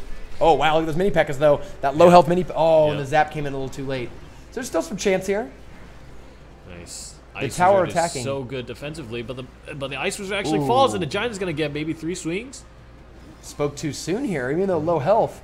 He has 25 seconds to do 1.2k. I can imagine a world where the mini Pekka makes it if Great. Uh, One more. Oh, if he just zapped. Oh, wow. The Valkyrie didn't kill. Oh. Yeah, is the Ice Wizard slowing the Valkyrie down? Would have killed it before the second shot, but just a little too slow. You need to zap that I Inferno didn't Tower. realize that Valkyrie doesn't one hit Princess at tournament cap. Huh. Yeah, I, I suppose. Yeah, that's an interesting. that is an interesting note to make. Yeah. Nice. So that allowed that second shot to go off and able to, to bring it down. Yep. Gray 1-0 over Santi. I think Santi just had a lot of problems, maybe because just a strategical decision, just how you were placing your cards and how you were deciding to use it. I didn't see a a, a, uh, a concerted effort to get multiple elixir collectors down in cycle, and also Ice Spirit being thrown on offense to not that great effect. Yeah, I uh, I think that yeah, just Santi probably wanted to use the, the Ice Spirit and the Musketeer and the Zap more on defense. Kept using them on offense, and then the counter push just like didn't have the key Yeah. defensive cards. So we're just showing the decks real fast. It is another one of the miner furnace ones against the uh, this giant poison you know list that we just saw out of Santi. Santi seems very familiar with it. Uh, I think can make up for the mistakes of last game and hopefully try to stay in this. If Gray wins though, that's it for Santi's day. Go home. Yep, yep. Oh no, this one. Doop. And here we go. All right. So yeah, big big play for sure with the uh, the mini P.E.K.K.A. out of Santi's deck. I think that seems to be the. I mean, that's such a key card in these matchups, especially these mini P.E.K.K.A. on mini P.E.K.K.A. matchups. It's whoever uses their mini P.E.K.K.A. better and and is Yeah. able to prevent theirs from getting just like goofed up by Yeah. the opponent. Yeah, the important thing to know is that if your mini P.E.K.K.A. is above that 572 health threshold, you will still trade mini P.E.K.K.A.s because Yes. it's still two swings. So the big thing to do in a mini P.E.K.K.A. duel, well, I say duel, but in, in trading mini P.E.K.K.A.s is you really want something like maybe an Ice Wizard because that's going to slow down that's going to slow down the swing of the mini P.E.K.K.A. and allow you to get your second hit first. Because even if you have maybe a damaging unit to support your own mini P.E.K.K.A., if it can't put you under 572 health, it helps nothing at all. Sure. Because it's still two swings to kill the mini P.E.K.K.A.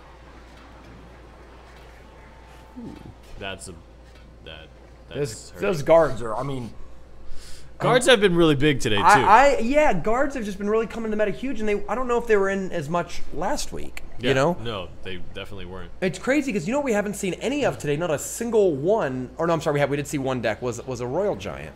We Yeah. saw one royal giant. Hardly. We haven't seen that many hog riders. Very very few Mm-hmm. number of hog riders.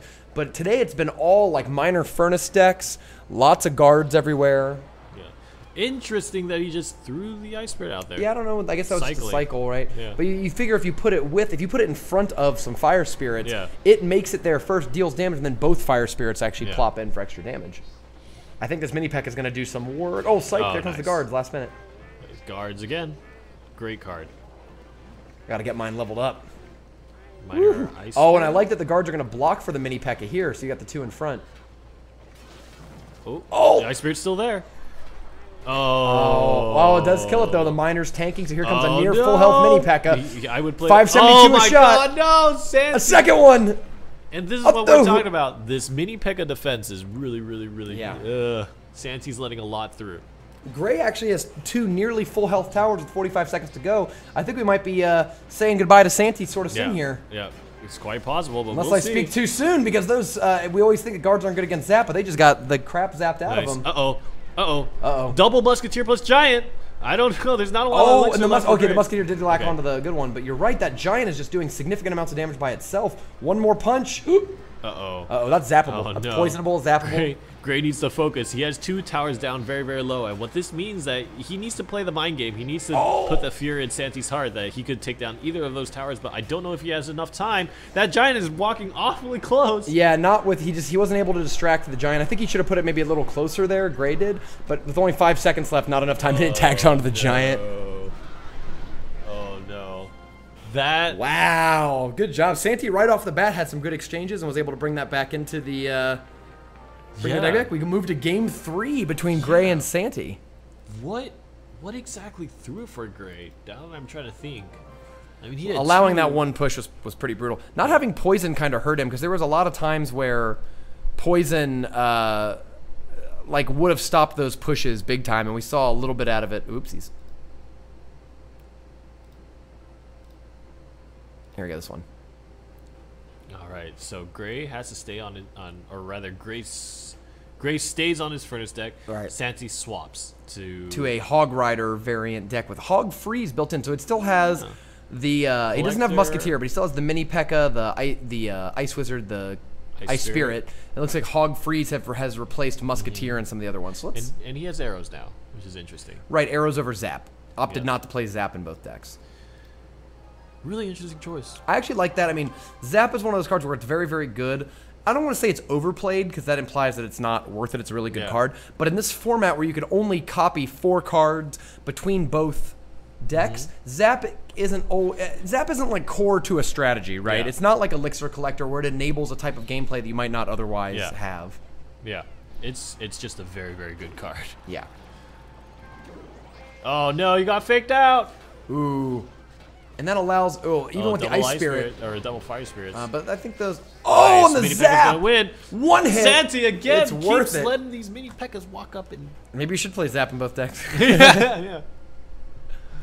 All right, Santi, let's see this version. We haven't seen a whole lot of Hog Rider on the field today. Uh, the guards.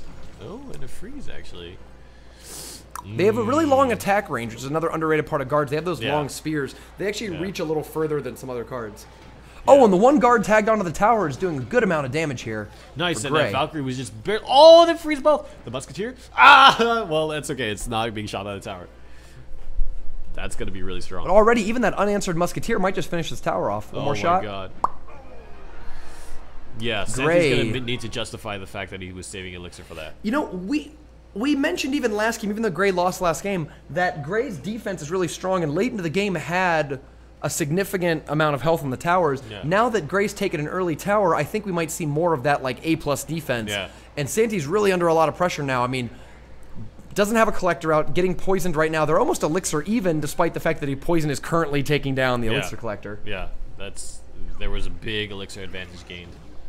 Ooh, Rider no fire up. spirits blow up. And I really think that that was actually the result of that Hog Rider freeze combo. Yeah. Another good We'll freeze there. Oh, the oh, Ice Oh, Spirit does a great job at, at pr- basically stopping two seconds worth of that attack. Yeah. And and this is why freeze is such a risky card, especially now. The duration is short, and if you do not convert that into some meaningful amount of damage or some Yes. elixir trade, then you're really you're really down on your luck. These guards might take out this other tower too. Yeah, another thing we've noticed too is a lot of people are being a little greedy with their ice spirits. They're playing a little too close to the battle lines, and we're seeing one elixir ice spirits just getting Yeah. Chopped, up Chopped up. before. Like, there was one on that last push on defense by Santi, it just didn't quite get there. Mm-hmm. And there's another one. See, but I like I like playing it far back like that. Even though that freeze went down, ha- for half of that freeze, the hog wasn't moving because of the ice spirit. Yeah. The hog Good freeze. game. Yeah. I think what's really hurting hurt, hurting Santi is just the hog freeze is, is not as effective as he would like it to be.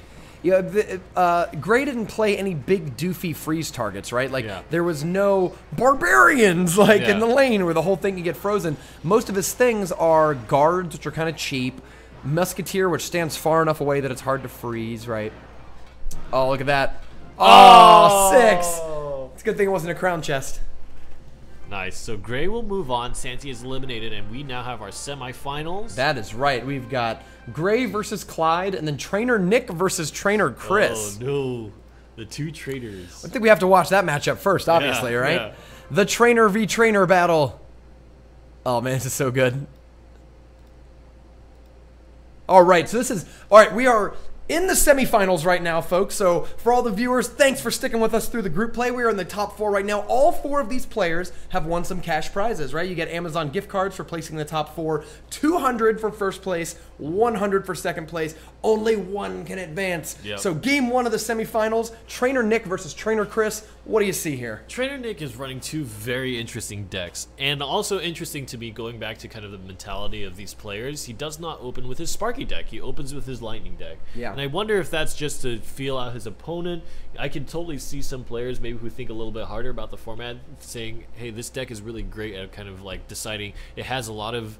It, it, it, it plays in such a way that I get to see how my opponent plays a lot in different situations, and maybe I don't I don't know if that's going to be true. I think for it's also Nick's case, worth but- mentioning that this deck seems a little bit more well-rounded, right? It's Yeah. not picking at opponent's weaknesses. It's just it's just a well-rounded deck. So, given that he doesn't know what Trainer Chris is playing, and no matter what he's playing, like you got to win with this deck. Yeah. Having a opening with a well-rounded deck allows him to be diverse towards what he's going to Yeah, see from his yeah. opponent. And and I suppose it it actually makes a lot more sense because in the case you don't really know what your opponent plays like and, and what cards they play, that's gonna hurt Sparky a Sparky deck much more than it is another deck, Yes, right? for sure. Because with a Sparky deck, you want it's kind of like the information war, right? You want to be as well informed as possible once you play your Sparky deck to know you can guarantee some kind of result from from when you place your cards. Absolutely. All right, Trainer Nick versus Trainer Chris, game one. This was it right now. I just want to make sure we're getting the right one. Yep. Yes, it is.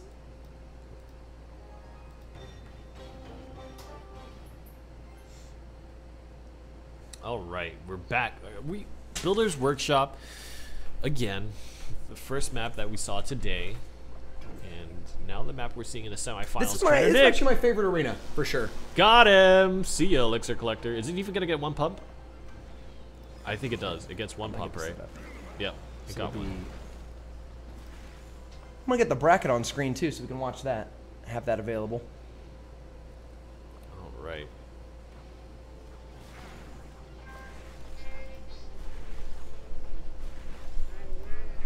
So that was actually really interesting to me. Just then, uh, Trainer Chris played played the mini P.E.K.K.A. in the in the back, um, and I wonder why he didn't just play in the in the front because he didn't assist the mini P.E.K.K.A. with anything. He wasn't saving elixir. He could have saved himself just a little bit of tower health. Yeah, maybe I think uh, really tight tournament players highly value tournament or tower health over elixir. Like I know on the ladder or maybe in like a tournament format, I tend to be I tend to be willing to take damage in order to get ahead in elixir. I tend to win a lot of like 2-1 games and things like that because I'm willing to trade a tower for elixir, but uh Yeah. But I think in this level we see how many games end 1-0 and you just like every 200 300 points really matters. And like we were saying, you know, the big thing about playing against Lightning and Rocket is that you need to be very, very careful about your tower health very early on in the match. Right. Miner's doing a lot of damage. And the Mini P.E.K.K.A. makes it over. Get that little thing on stage.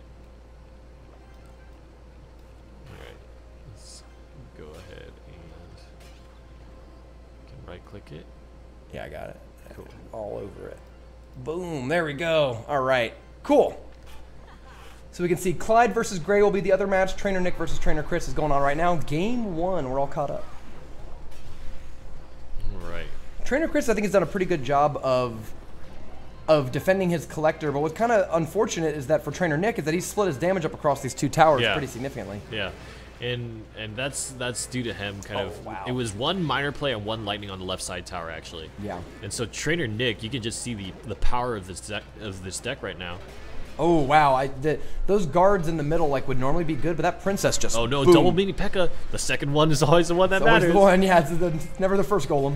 Ah, that's a hit. That's not a. It is not a. It is a hit. Oh my god, and that just caught up Trainer Nick. That one swing. oh wow! And the princess even got one more shot off before dying. Yep. This Oh, is and difficult. princess No! dies. Okay, well, technically there's 300 health left for Trainer Nick. Wow! Trainer Chris was able to pull it out there. Seven seconds left. I don't know if we can do 800 damage in the next seven seconds. You know, it's interesting. I almost wonder if it would have been worth it for Trainer Nick. I don't know if it would have won him the match, but if he had just opted to use lightning to hit the mini P.E.K.K.A. to allow the guards to move forward, Sure. do damage to the tower, and then maybe the guards could finish it off. Seems unlikely, but but it's the little things, right? where's the bracketing? It's in there somewhere. All these. Oh, there it is. We can just delete all these other ones. Nice. Here we go. Cool. So we got that caught up, and let's move on to the next match. Game two of Trainer Nick versus Trainer Chris. Uh, believe this was okay. So this is game one right here, All right, yeah. Uh, right? Yes. Okay. This is the one we just watched. Yeah. So we're gonna move to this one. And of course, this is the deck that you want to see, right? If Trainer Nick's gonna go home with this game, with this tournament and this match, he has to win with the Sparky Log With deck. the Sparky Light. And, he's, and the crazy thing is, the fact that he's here means that he did. Hey, You're right. Like actually, this Sparky Log deck hasn't lost yet because if he's made it this far, it had Yeah. to had to win at least had- one game in every yeah, match. You're he right. has to have won with it. Um, you know, I'm noticing Trainer Chris. Uh, You know what though? I kind of want to favor Trainer Chris on this one because he's got both the Zap and Poison and Princess, all of which, and of course guards, Yeah. all of which are really good against Sparky. Like this deck might try to punish your zapping, but there's a lot of options besides Zap in order to fight uh, an incoming the Sparky. big thing, and I think the big thing about about how Trainer Nick needs to play out this situation is he just needs to be very, very intentional about using his Goblin barrels. His focus should almost be on the Goblin barrels rather than the, than the Sparky, because the Sparky is eventually destined for failure just for the fact that eventually it's going to have to meet the guards. Right? Yeah. That's a good point. And the, he's got fire spirits as well for the guards and, and barbs. I think it'll also come down to just like, does he. Like, I'd also like to see how well the log works against Princess. Yeah. Like, that could be another really common thing. So we'll waste no time in putting big old Sparky down here at the bottom. We know or other Yeah. one. I'm sorry, at the top. Yep. And we'll put Princess the- Banana, maybe. I actually think Princess might be because this is going to be really relevant. There's a lot of times, like not right Oh. there, the Princess came out a little too early, but you'll see times where people play Sparky behind the tower. there it is. Yep, like that. And Princess can actually come down now and start And shooting. splashing the- yeah, splash the tower and the Sparky several times. Sparky has so little hit points. But if you look at it, Princess shooting only twice is a third of or 25% of its health, right? Yep. Uh-oh. Shine in front. The guards will tank. The shield. okay, the zap is still on The board. zap just went down. No, zap. No, sorry. That was Okay, the zap, was spent on the barrel Right. rather than the Sparky. And this is what we're talking about. It, you need to, because the Sparky is going to meet the guards eventually, right? So I almost think that that was the wrong choice. There's a log. Rolls it right away. Now that's a full health Sparky, and I don't know. Can he surround with think these barbs? He does surround. Good Nice, job. nice. So that's a very good mecha- mechanical play. Because if that was off by one square, all four of those barbs are dead. Yeah. I think Trainer Nick is very much incentivized to have Trainer Chris spend the zap on the Sparky rather, rather than the barrels. The barrels is where you're going to really find Yes. a lot of your damage rather than Sparky. I, I'm really impressed with that last Sparky play. I mean, that was six elixir that I think drew out more than six elixir worth of whatever Yeah. from uh, from Chris in just terms of how he had to counterplay around it. Yeah. Now Trainer Chris has committed an elixir collector, so I think by the time the Sparky makes it across, Trainer Chris will maybe be down about three, two Okay. elixir. So, and if Trainer Nick fails his push, he has to deal with an elixir collector on the board. Yeah, no kidding. So this this is kind of a do or die moment. I feel guards again, and again he uses his barrels early. That's just gonna get zapped. Yeah, and then here comes the log down with it. And there's gonna be barbarians played to surround. Yep. Yep. And this is the and that was a really good. Not That was great. He only got yeah. the one. Yeah, you're right. That was incredible. And even with the fire spirits, it's like the musketeer's still around and like a mostly mm-hmm. full health. I mean, he spent five elixir there on defense, right? The ice wizard plus the fire Yeah. spirit, and ice wizard's not going to really do much Yeah. damage on offense. Yeah. So kind of who cares? Now there's double elixir collectors, and things are gonna get worse for Trainer Nick because giant poison is nothing to laugh at. Correct. And Although, tra- although no damage has really made it all the way over there. Although this push is looking pretty good because you got the guard. Nice zap Ooh, plus wow. log is a great combination. That log just rolled. Yeah. like, rolled over a lot of that stuff. Killed the the princess and thing took is, this. Sparky is acting kind of like a pseudo musketeer, almost defense than Yeah. offense. That giant is a good blocker too because giant can eat Oh, there's no zap. more than three. He has to play the guards in a defensive manner, but that look at how much damage that Boink, did. boink, and boink, boink, boink. Oh that's wow. exactly what we were talking about. When the zap is down, Goblin Barrels does Oh, actually there's so much damage. The zap came in uh, right on the Sparky, and that's gonna probably kill it before anything else gets going. And I like all the stuff in front. It might all get blown up. We'll see. And there's a poison to slow down the Sparky charge. So yeah, the poison will slow it down from uh, about five seconds to like five and a half seconds or so. It's about a 15, 5.75 seconds. Oh no, this is a really dangerous time. I just wow, they're so close though. I mean, even though these counter pushes are going well, they're both at such low health that any push could take it at any time. The 500 health, you could lose in a, in a minute, right? And I almost feel like this is a situation where you should use your Goblin Barrels aggressively. Or rather One hit, one hit. Oh, every goblin stab matters. Oh my Oh my God! god, 38 health. Oh, and the poison takes it down. Trainer Chris with the gi- just a giant poison didn't even supplement it, right? Him! Oh my god, I wish I wish I was in the coaching seat for Trainer Nick because I would have said right from the start of the game, you wait until that zap and then you play your Goblin Barrel. If his goblins had Yeah. gone one more hit at the start of the match, you would have won. I'm not. Yeah, I'm kind of surprised. Wow. I mean, great. That is the kind of matchups that we come to expect from the Super Magical Cup. That was an excellent. Put that on TV. Oh my All right. So Trainer Chris. It just goes to show you how important it is to just kind of think about what you're gonna do from the start. that every minute, every second of the match matters. Right. Right from the start, Trainer Nick needed to analyze what was important. Is it gonna be the Sparky? Is it gonna be the barrels? You saw a Sparky shot zero times on a tower. Right. Every single point of damage was essentially the zap, the log, and the barrel. So we have game three now between Trainer Chris and Trainer Nick. They tied it up. Uh, the bracket says 2-0. That was not not quite the case. Was Um, it not? Did they make a mistake? Did they? Yeah, I believe they, they made a mistake. They were one and one. Um, wait, hold on. What? Oh wait, hold on. I'm sorry. Oh, that was wait. Hold on. This was done wrong because what am I looking at in these matches here? Trainer Nick, Trainer Chris won the game against the Sparky deck, but Trainer. Oh, Chris won game one. I'm sorry, we were dumb. The Lightning deck. so Oh. both Trainer Nick did lose 2-0. Yeah. I'm sorry. Yeah. Admins are right. I was wrong because we're looking at we're looking at left right Yeah. on the uh, thing. Yeah. Okay, my bad. Yeah, yeah, yeah. So Trainer Chris wins two over. Trainer Nick advances to uh, Clyde and Gray are the other match. So let's go ahead and watch Clyde and Gray from game one. My bad. Sorry, I got confused trying to look at all these replays. The list is not very conducive. Listen, yeah, it's not, it's not real used to reading. All right, Clyde versus Gray, game one. So here we are That's with the lava, lava hound. hound miner. Ooh, I did like that lava hound miner against the kind of uh, the miner furnace that we've seen. It's quite a bit of. interesting that this is another triple legendary. It's another version of it. triple legendary. Put a put a lumberjack in instead of that mini Pekka, and we've got us a quad whole party. legendary. Yeah. Yes. You know, Clyde, like pretty it. impressive that Clyde's got this triple legendary deck going. That he is uh, true free to play.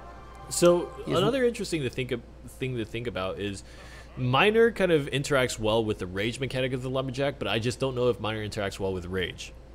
Because even if you do not support the lumberjack immediately, the miner is pop up, right? So you can just have him just be in the rage territory immediately. But wh- I mean, what you know, cool. That's cool. But what do you get from that, right? Right. Yeah, that's. Uh, I think that's where like Goblin Barrel actually kind of comes in because I could see you doing something like, uh, I have lumberjack coming in, tanking the tower. I throw a goblin barrel. The lumberjack dies near the tower, dropping rage, and then the goblins get to the benefit of the Yeah. rage, right? And you see how strong one stab from the goblins are. If that get, earns them a second stab, worth. yeah, especially for only two elixir, right? Yeah. Uh oh, that elixir collector, besides being poisoned, is now being attacked by the deadly miner. Ice Spirit is actually a pretty good defense against miner. Yeah. Uh, I like that card a lot. Having to use the miner on defense against mini Pekka seems pretty icky, especially because you still took two hits, or So- one hit. Well, actually, two hits. One hit and another hit on your mini Pekka. So right now, Clyde seems really far behind from Gray Mm-hmm. in this first game. So something interesting to think about is if you play Ice Spirit as defense against Miner, I I'm not exactly sure if this will happen, but if you place units next to the miner, if it will retarget to the units after the freeze ends, because then you can start justifying three elixir combinations where you play ice spirits then goblins, or ice spirits even Yes. and guards, and play four elixir, which is the same as playing a mini P.E.K.K.A. But then you don't have that RNG chance of. of That's actually really smart. Yeah, I hadn't, I hadn't really considered, but you're right. Freeze does uh, cause it to retarget. So if you do that and it you play a unit after, that'll let you get the rest yeah, of the thing out it, there. it ensures that you do Oh, not take hit. five six swings. and mini Pekka oh chops Oh the tower down. Clyde. Not like this, but Clyde is playing a Lava Hound deck, and there's one right. On the field that has made it to the tower. Mm-hmm. He has the miner in hand. He could play the miner. He needs to play the miner now, and he does. And it re- Oh, it does not retarget, but it might now because it's actually closer. The two pups are still attacking, and two pups. I mean, they're not as good as minions. so Clyde but has they're time close enough. enough. Clyde has time enough to play. Oh my God, that's doing way more damage than I thought it would. Yeah. Clyde has time enough to play one more Lava Hound, and he needs to get it started right now. He's gonna defend this push here He's pretty effectively. defend. Doesn't take too much damage, and here comes this lava hound. And he needs to play at, Got the, at you're the right. bridge. It's got it. Oh, it is the bridge. Okay, I was gonna say yeah, Yep. maybe even behind and build up for it, but I think you're right. It's gonna take that first shot, because it, it Uh-oh. three elixir is easy to make. All he needs to do is make it to a second miner. And I like that the princess splash was big enough to clean up some of the guards. That mini Pekka is not gonna do any damage really, Princess but is gonna do this is enough. I think yeah, this is. I mean, even know- with the miner stopping it. The thing is, for Gray, there is actually incentive not to kill that Lava Hound because once the pups Right. pop, that's when the real damage happens. And if you can delay that for long enough, but I don't think. Oh my God! Just, just sneeze on it. Oh my! This And is there's so much. Oh, he's got a miner. Okay, there's so He's much needs, left in he needs hand. to mind game. Oh, it does it! Ah, oh, Oh, no! The mind game. He should have played it on the top right corner. He should have. Yeah, like he should have played it Oh my inside God, where no one's looking at it. That is the poker of it. And Gray- ah! Oh, Oh, God! Wow! So Gray wins game one, but the story, the book is not closed yet on Clyde because we remember in the Invitational, Clyde lost game one of every single match, and then won games two and three. He is someone who uh, watches how you play and will come back and uh, learn from that. So Gray has got game one, but it is not an easy task to put Clyde away. Now Gray has to switch decks. I'm gonna go quickly into the match preview here against it's got the giant poison clyde's giant poison deck is the other one and we've got uh, gray running the Pompeyo triple legendary as his second deck actually i think this you know never count clyde out but this actually looks pretty good for gray because the inferno tower uh, is going to match up well against the giant against the poison he doesn't have too many things that are like hyper weak to poison right like the ice wizard and mini P.E.K.K.A, etc on defense are Yeah. going to do pretty well Yeah. Yeah. This is uh, Clyde. Oh my God, Clyde! Great, really good job by Gray to make the read on the miner. And he, you know, it's a game of inches, right? Like that's Yeah. something you gotta do. And I think Clyde opts to switch decks too. Clyde is not sticking with his Lava Hound deck, even though he could have played it. Yeah, yeah, and he's he's gonna go back. He's returning to his his seat as the Prince of Poison. Yeah, let's put uh, let's put Miner up there this time because I think I mean, it want, like we've said in a lot of these decks, it's really going to come down to how well you can defend the miner. And there we go. Clyde does an, another one of those good plays. Between the Elixir Collector in the middle. Oh, no. Oh Wow. The Elixir Collector in the middle uh, and Ah! the mini Pekka Oh, on defense. still Wow, still one hit. Yeah. It's not looking very good for Clyde early on. Gray is off to an early start. And that Ice Wizard still chipping away. Yeah. But Clyde was able to get a collector out, and that can always build Yeah. up these big pushes. Again, it's worth mentioning that aside from the Inferno Tower, this deck cannot defend. Yeah. Like if you can somehow circumvent that Inferno, that Inferno Tower, uh, you're being pretty good shape. So you see the Barbarians in barbs in front. front. That's exactly what it's used for. Oh, and it misses the princess there. Oh, great separation from really Gray. great. And he uses the zap not on the Inferno. but Actually, the though- Barbarians make it. Yeah, and they do a pretty good amount of damage, but between the poison and the princess chopping him up, it unfortunately wasn't as much as he, he could have been, right? Really, really complex defense that Gray is demonstrating here. I mean, look how weirdly that uh, that Inferno Tower is placed. That's not a normal sp- Yeah. placement for it. Yeah. That But it was, was great definitely an separation. intentional choice. Yeah. Yeah. That was really, really good. Will he get another collector out, or is he going to go for the tower? nice. Opts for the collector. Okay, right in the middle. And he can defend it once again. He should be waiting on a miner. Oh, I like the psych out there. Oh. Although I think those barbs are probably fine. Oh, actually, no. Oh, the, the mini princess. packet. The Oh, zap. nice, Oh, the okay. zap- the the zap zap some time. But look, the princess plus the bit, ah, the princess plus the mini Pekka. Oh, means they're one hitting. I didn't even know that that was possible. The I didn't skeletons know got either. It's pushed. sort of weird. Oh, the last barb, the Highlander, takes out the princess. That's not. We shouldn't display this kind of abuse on stream. That was just not. Supercell is not Rude. rude. That's just insensitive. I, I watch. I've seen Brave and uh, Meridian. Those are tough princesses. They can they Yeah. can fight a little bit. yeah, for sure. Oh, the one goblin Ah! does Oh, that nice. kill. God, if a princess survives, that's so brutal. Like when you make like a three for three trade or a two for three trade, and you expect the princess to die and then she doesn't, you are in such bad shape. Yeah. Oh, the, the It's always second the second one. P.E.K.K.A. It's It's, always the second mini P.E.K.K.A. Oh my god! And the princess nearly. Okay, yeah. This mini P.E.K.K.A. is Wow, so that mini P.E.K.K.A. has chopped up so many Yep. things already, and these double princesses are going to take it down. Gray tried really hard, but uh oh, protect the princesses. Uh, oh my Wow, god! he does the barbs, big guards. Big guards. So the question Triple now- princess? I, yeah, I don't think he can do it. There doesn't seem to be. It seems like Woody's Gray's record is back foot. four, right? Oh no! I think four is the record. the Yeah, Super Magical four, Cup four record. is record. Interlol had it as well. Yeah, yeah, yeah. That's right. But yeah, so we saw a very different Clyde that second game, yet Yeah. playing his uh, very familiar giant poison deck, which now he's not able to play. He's gonna have to go back to the Lava Hound deck, take what he's learned, and defeat this triple legendary deck with Inferno Tower using a Mm-hmm. Lava Hound deck. Using a lava hound. Channel your inner Pompeyo. and I don't think he has minions in the deck. Yeah, yeah. is normally Which the is thing the would biggest. I think it's minions. Honestly, I, I think are the biggest thing to defend against Inferno Towers. So let's see. Yep, we've got the triple legendary versus triple legendary. both miner, right? Miner in both decks. Uh, miner princess exists in both decks, as does Zap. Actually, there are minions. Clyde does run minions in the deck. so Oh, okay. If he, so I think one of the key things, if for you watching at home, to look for is can Clyde play the minions like perpendicular to the Lava Hound, get in front of the Lava Hound, and clog up and kill the Inferno Towers. Yeah. If he can do that, and also use things like Zap and Princess to you know, keep the Lava Hound alive, got a good shot. If Mm-hmm. Gray can defend his Inferno Tower, I don't think Clyde can punch through the damage that he needs to win the game. Yeah. And I almost wonder if it would be worth it at some point to use the miner to take on the Inferno Tower. Maybe. That's a good point, actually. Yeah, even just as a distraction, just put it in front. Yeah. And it, and it's a good mind game, right? Right. If, if he, you can't tell if he's going for the Inferno Tower or the tower.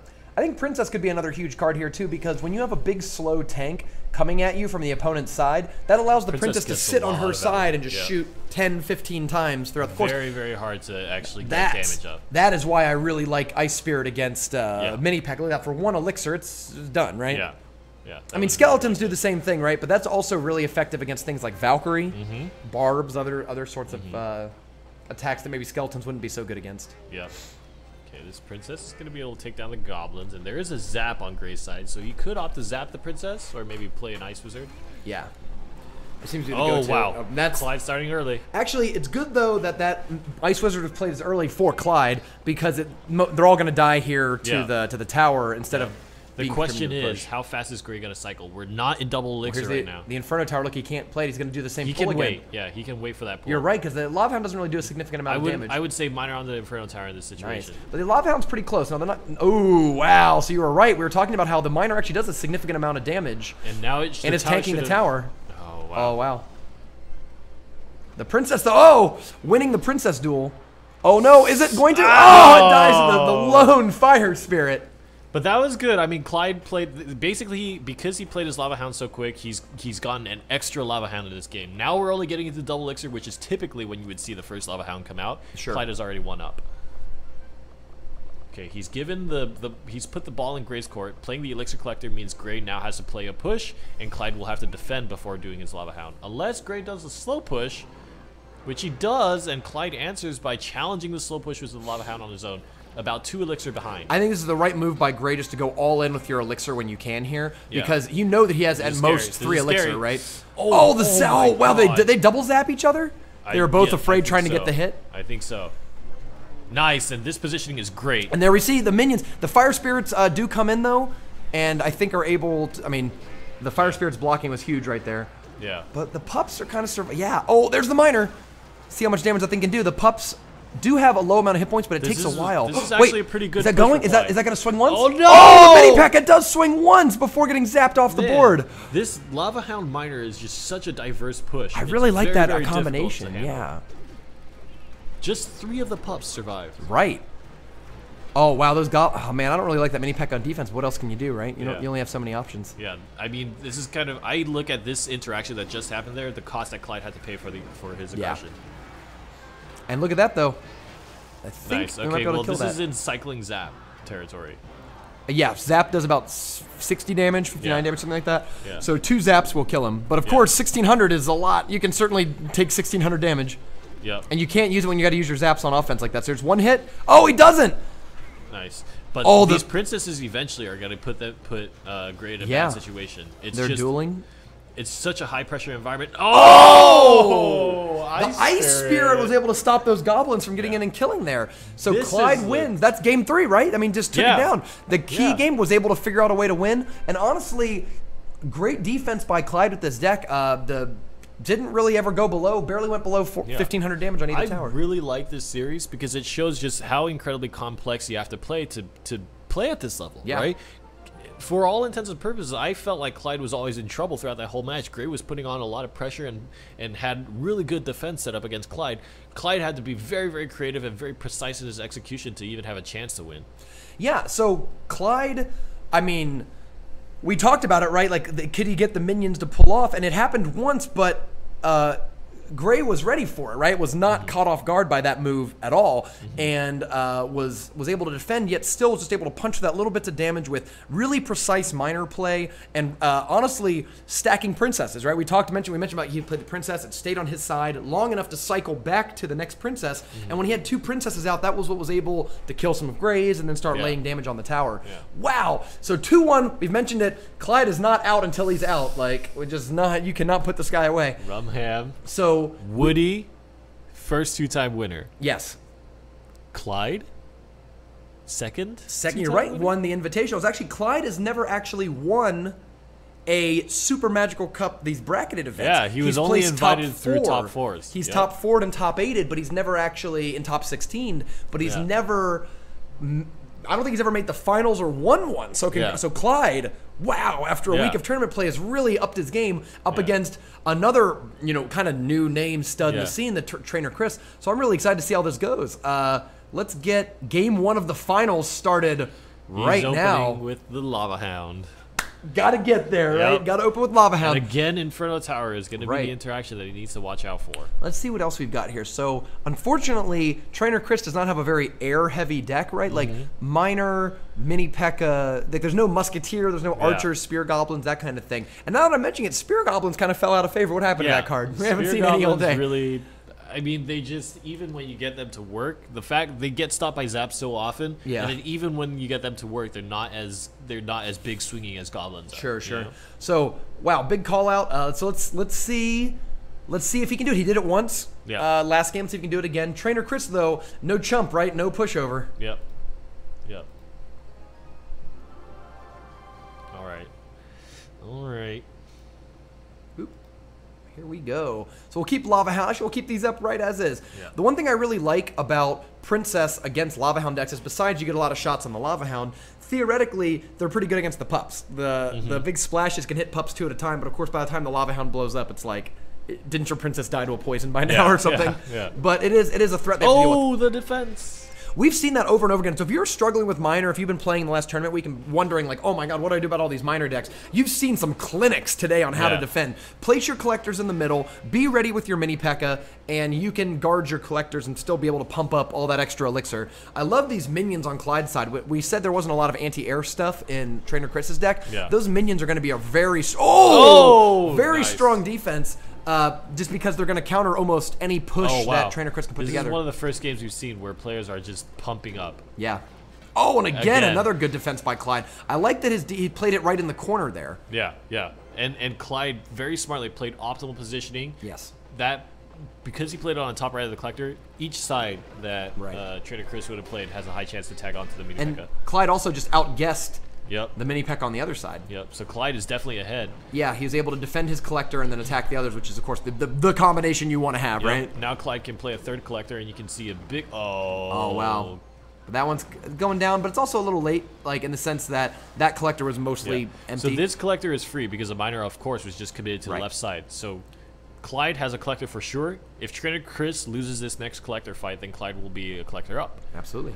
And that's great for him because he's playing a Lava Hound deck. Hey, and that's a great timing, by the way, that he played the Lava Hound right when Trainer Chris played the Collector, because that means Trainer mm-hmm. Chris didn't have the full elixir bar. Yeah. to rush the other lane and really Oh, punish him. Ice Spirits against Inferno Tower? Nice. This setup is very difficult to Inferno Tower right now. Oh, you're right. He doesn't even play it. He had it hovered, but he just couldn't couldn't do it. And it gets Yep. in on the tower. Yep. I like that he was also kind of psyched out the elixir collector there. The mini Yep. P.E.K.K.A went on the other side. Yep. This is really strong. And remember, Clyde, I mean, he still has that miner that he can play. Does he? Can he cycle to it? And the mini P.E.K.K.A is going to stop that Inferno Tower from getting too chumped up. Oh my god, this is really tough. Here comes the miner. Now here's the princess that we talked about. The princess survive. Oh, it does. It gets in there. Oh, Oh good timing. God, Unbelievable timing. That- look at that. The whole it is locked on, even though it gets chopped up pretty quick. Look how much so damage much they're doing. damage. And they don't die to zap either. The oh pups my don't. god, that I feel like Clyde the from the start of this game, Clyde had a strategy, and I I can't imagine anybody executing it more perfectly than that. That I- was picture perfect. I love the addition of the uh, uh, of of the ice spirit to that combo because it allows you to kind of just if, Yeah. if they play something even like other minions, your ice spirit freezing them right away and then letting your minions clean up uh, almost just aces Yeah. whatever they're doing. Trainer Chris is opting uh, just for the to let it go so we can move on to the next game. Yeah.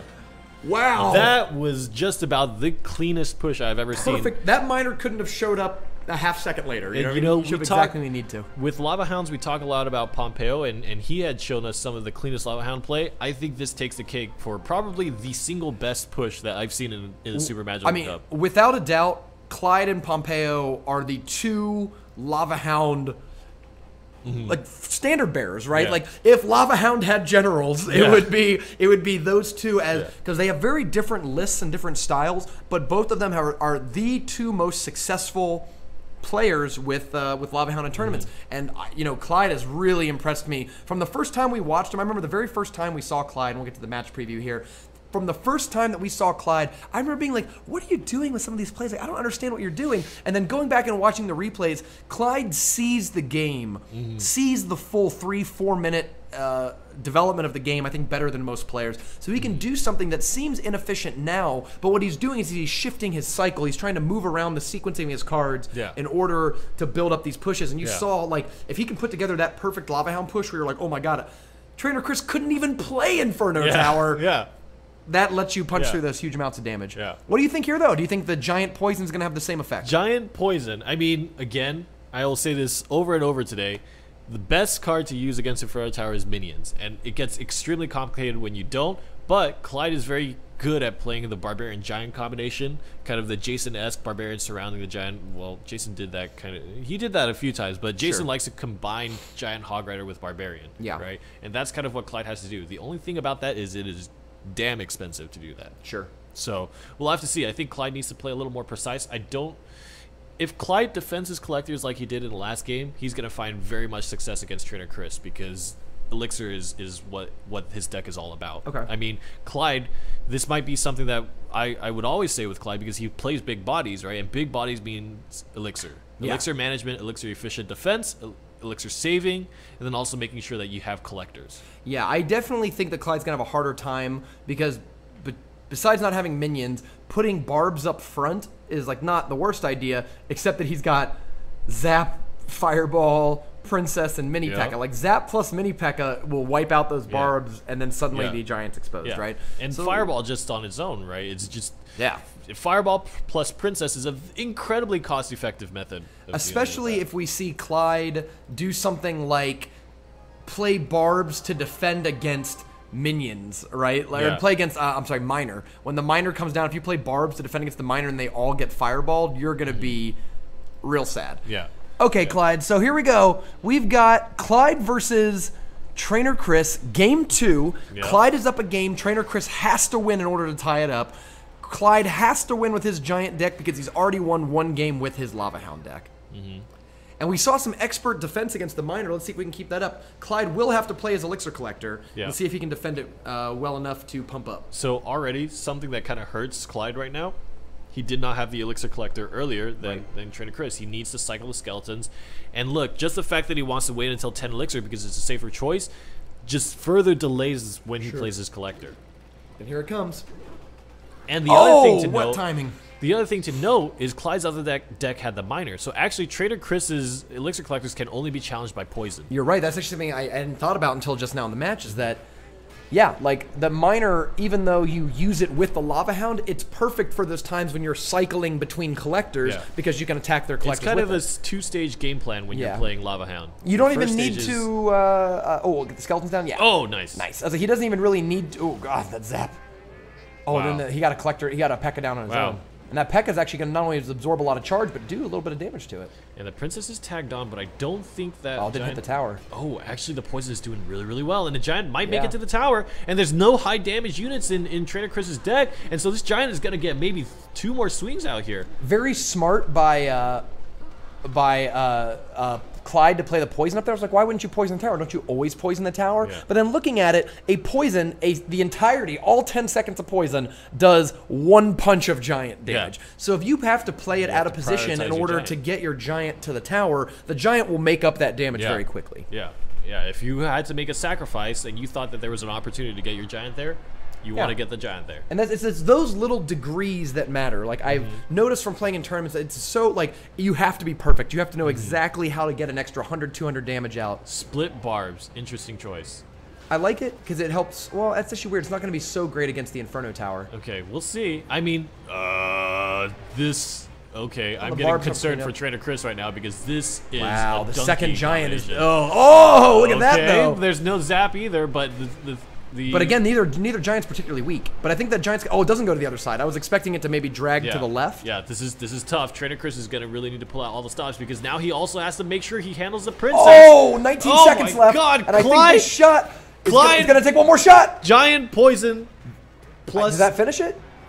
the, I mean, he's gonna he's gonna. Defend. Oh, it doesn't. No, I mean nine because he's got the zap. You're right. He's got the zap. Yeah, he's got the zap. Wow, Clyde. Clyde two O's. the best giant poison player. Oh yeah, That- absolutely. I mean, he's yeah, yeah. Like actually, I oh my god, wow! Clyde stomps through the field, takes Wow. a 2-0 win, a, a pretty decisive 2-0 win in the finals. That I'd say. It was very decisive. I mean, both of those games, it seemed like he was just in the driver's seat the entire time.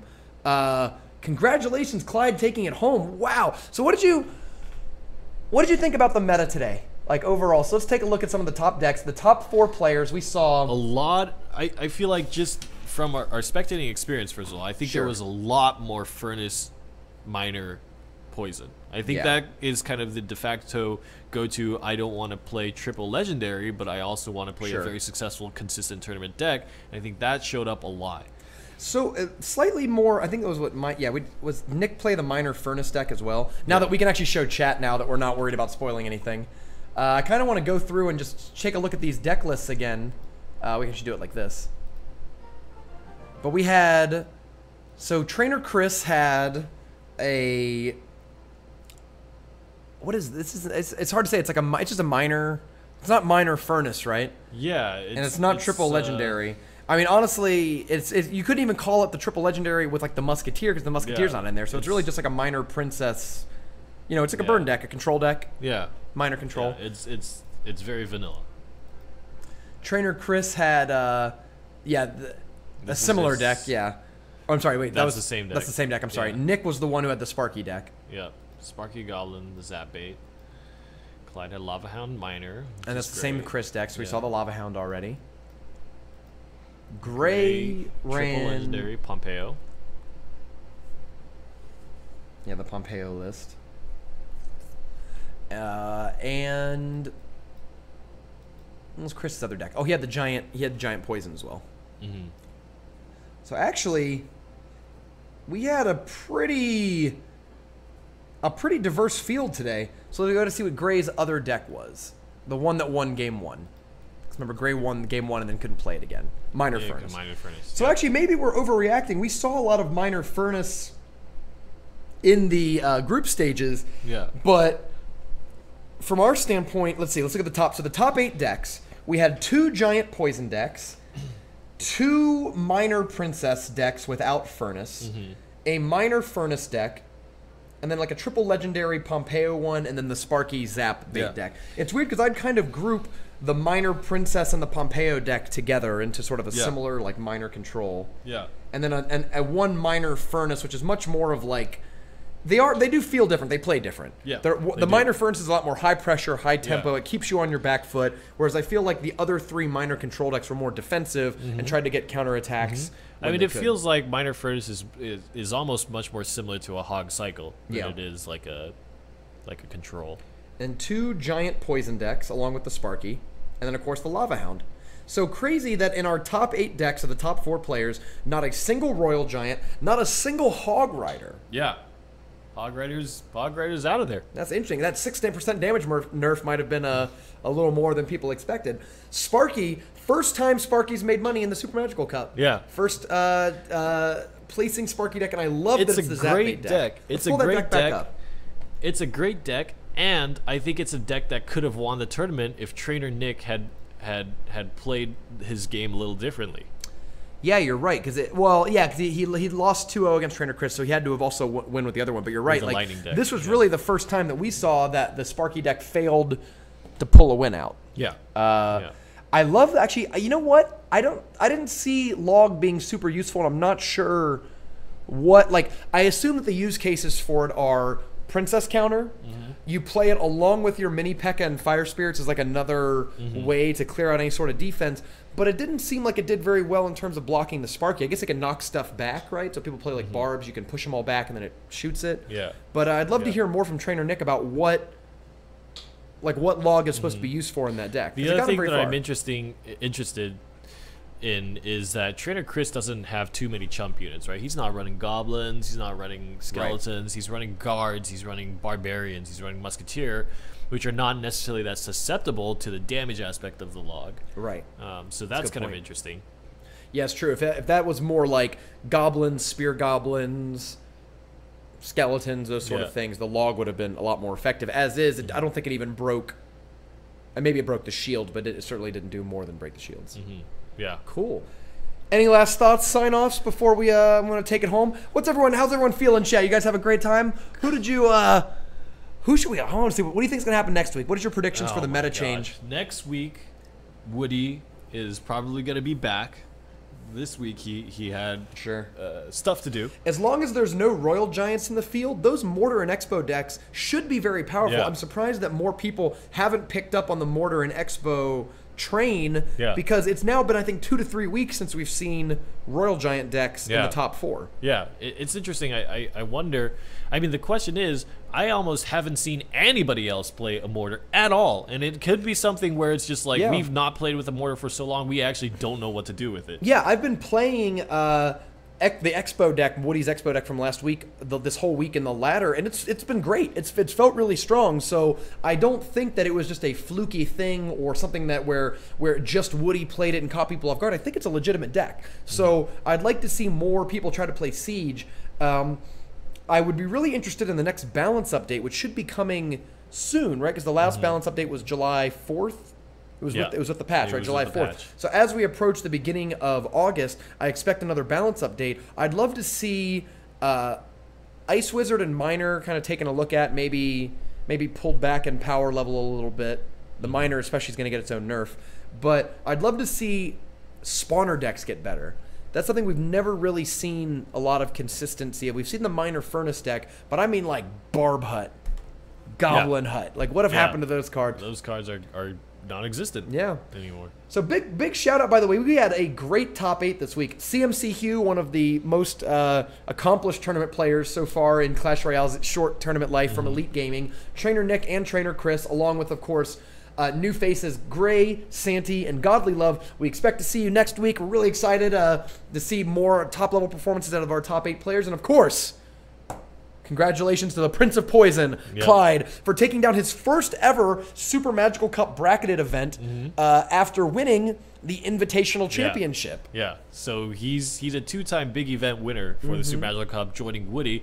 Woody technically is a three-time big winner if you could If you count the 800 player 800 qualifier, player tournament. right. But these players are starting to build a notoriety for themselves. Absolutely. What I love about it is it shows the difference between the good and the great. Yeah. You know, we had a whole field today of, of good players. Like nobody was bad in this field. Yeah. But it just shows exactly how precise you have to be, how much planning you have to do in your sequencing in order to be great. To Yeah. consistently, no matter what your opening hand is, no matter what the matchup is, no matter what, Yeah, get to the end and beat everyone in front of you. absolutely. So congratulations to Clyde for taking the tournament.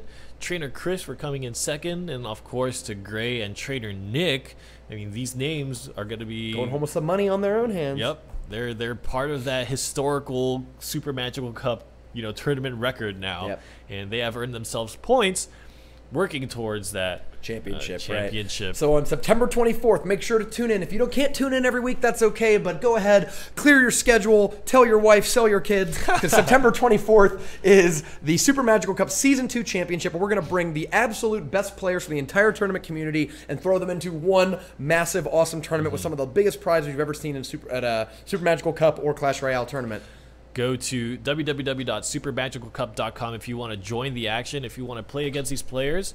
If you think you are competitive, if you feel like you have any ounce of competition in Clash Royale, come and demonstrate that. If you know anybody, if you know, if you have a friend or if you have a rival, if you have somebody you hate who keeps t- telling you about how great he is at Clash Royale, tell him to join a Super Magical Cup because until we see it here, I don't believe it. Yep, I agree.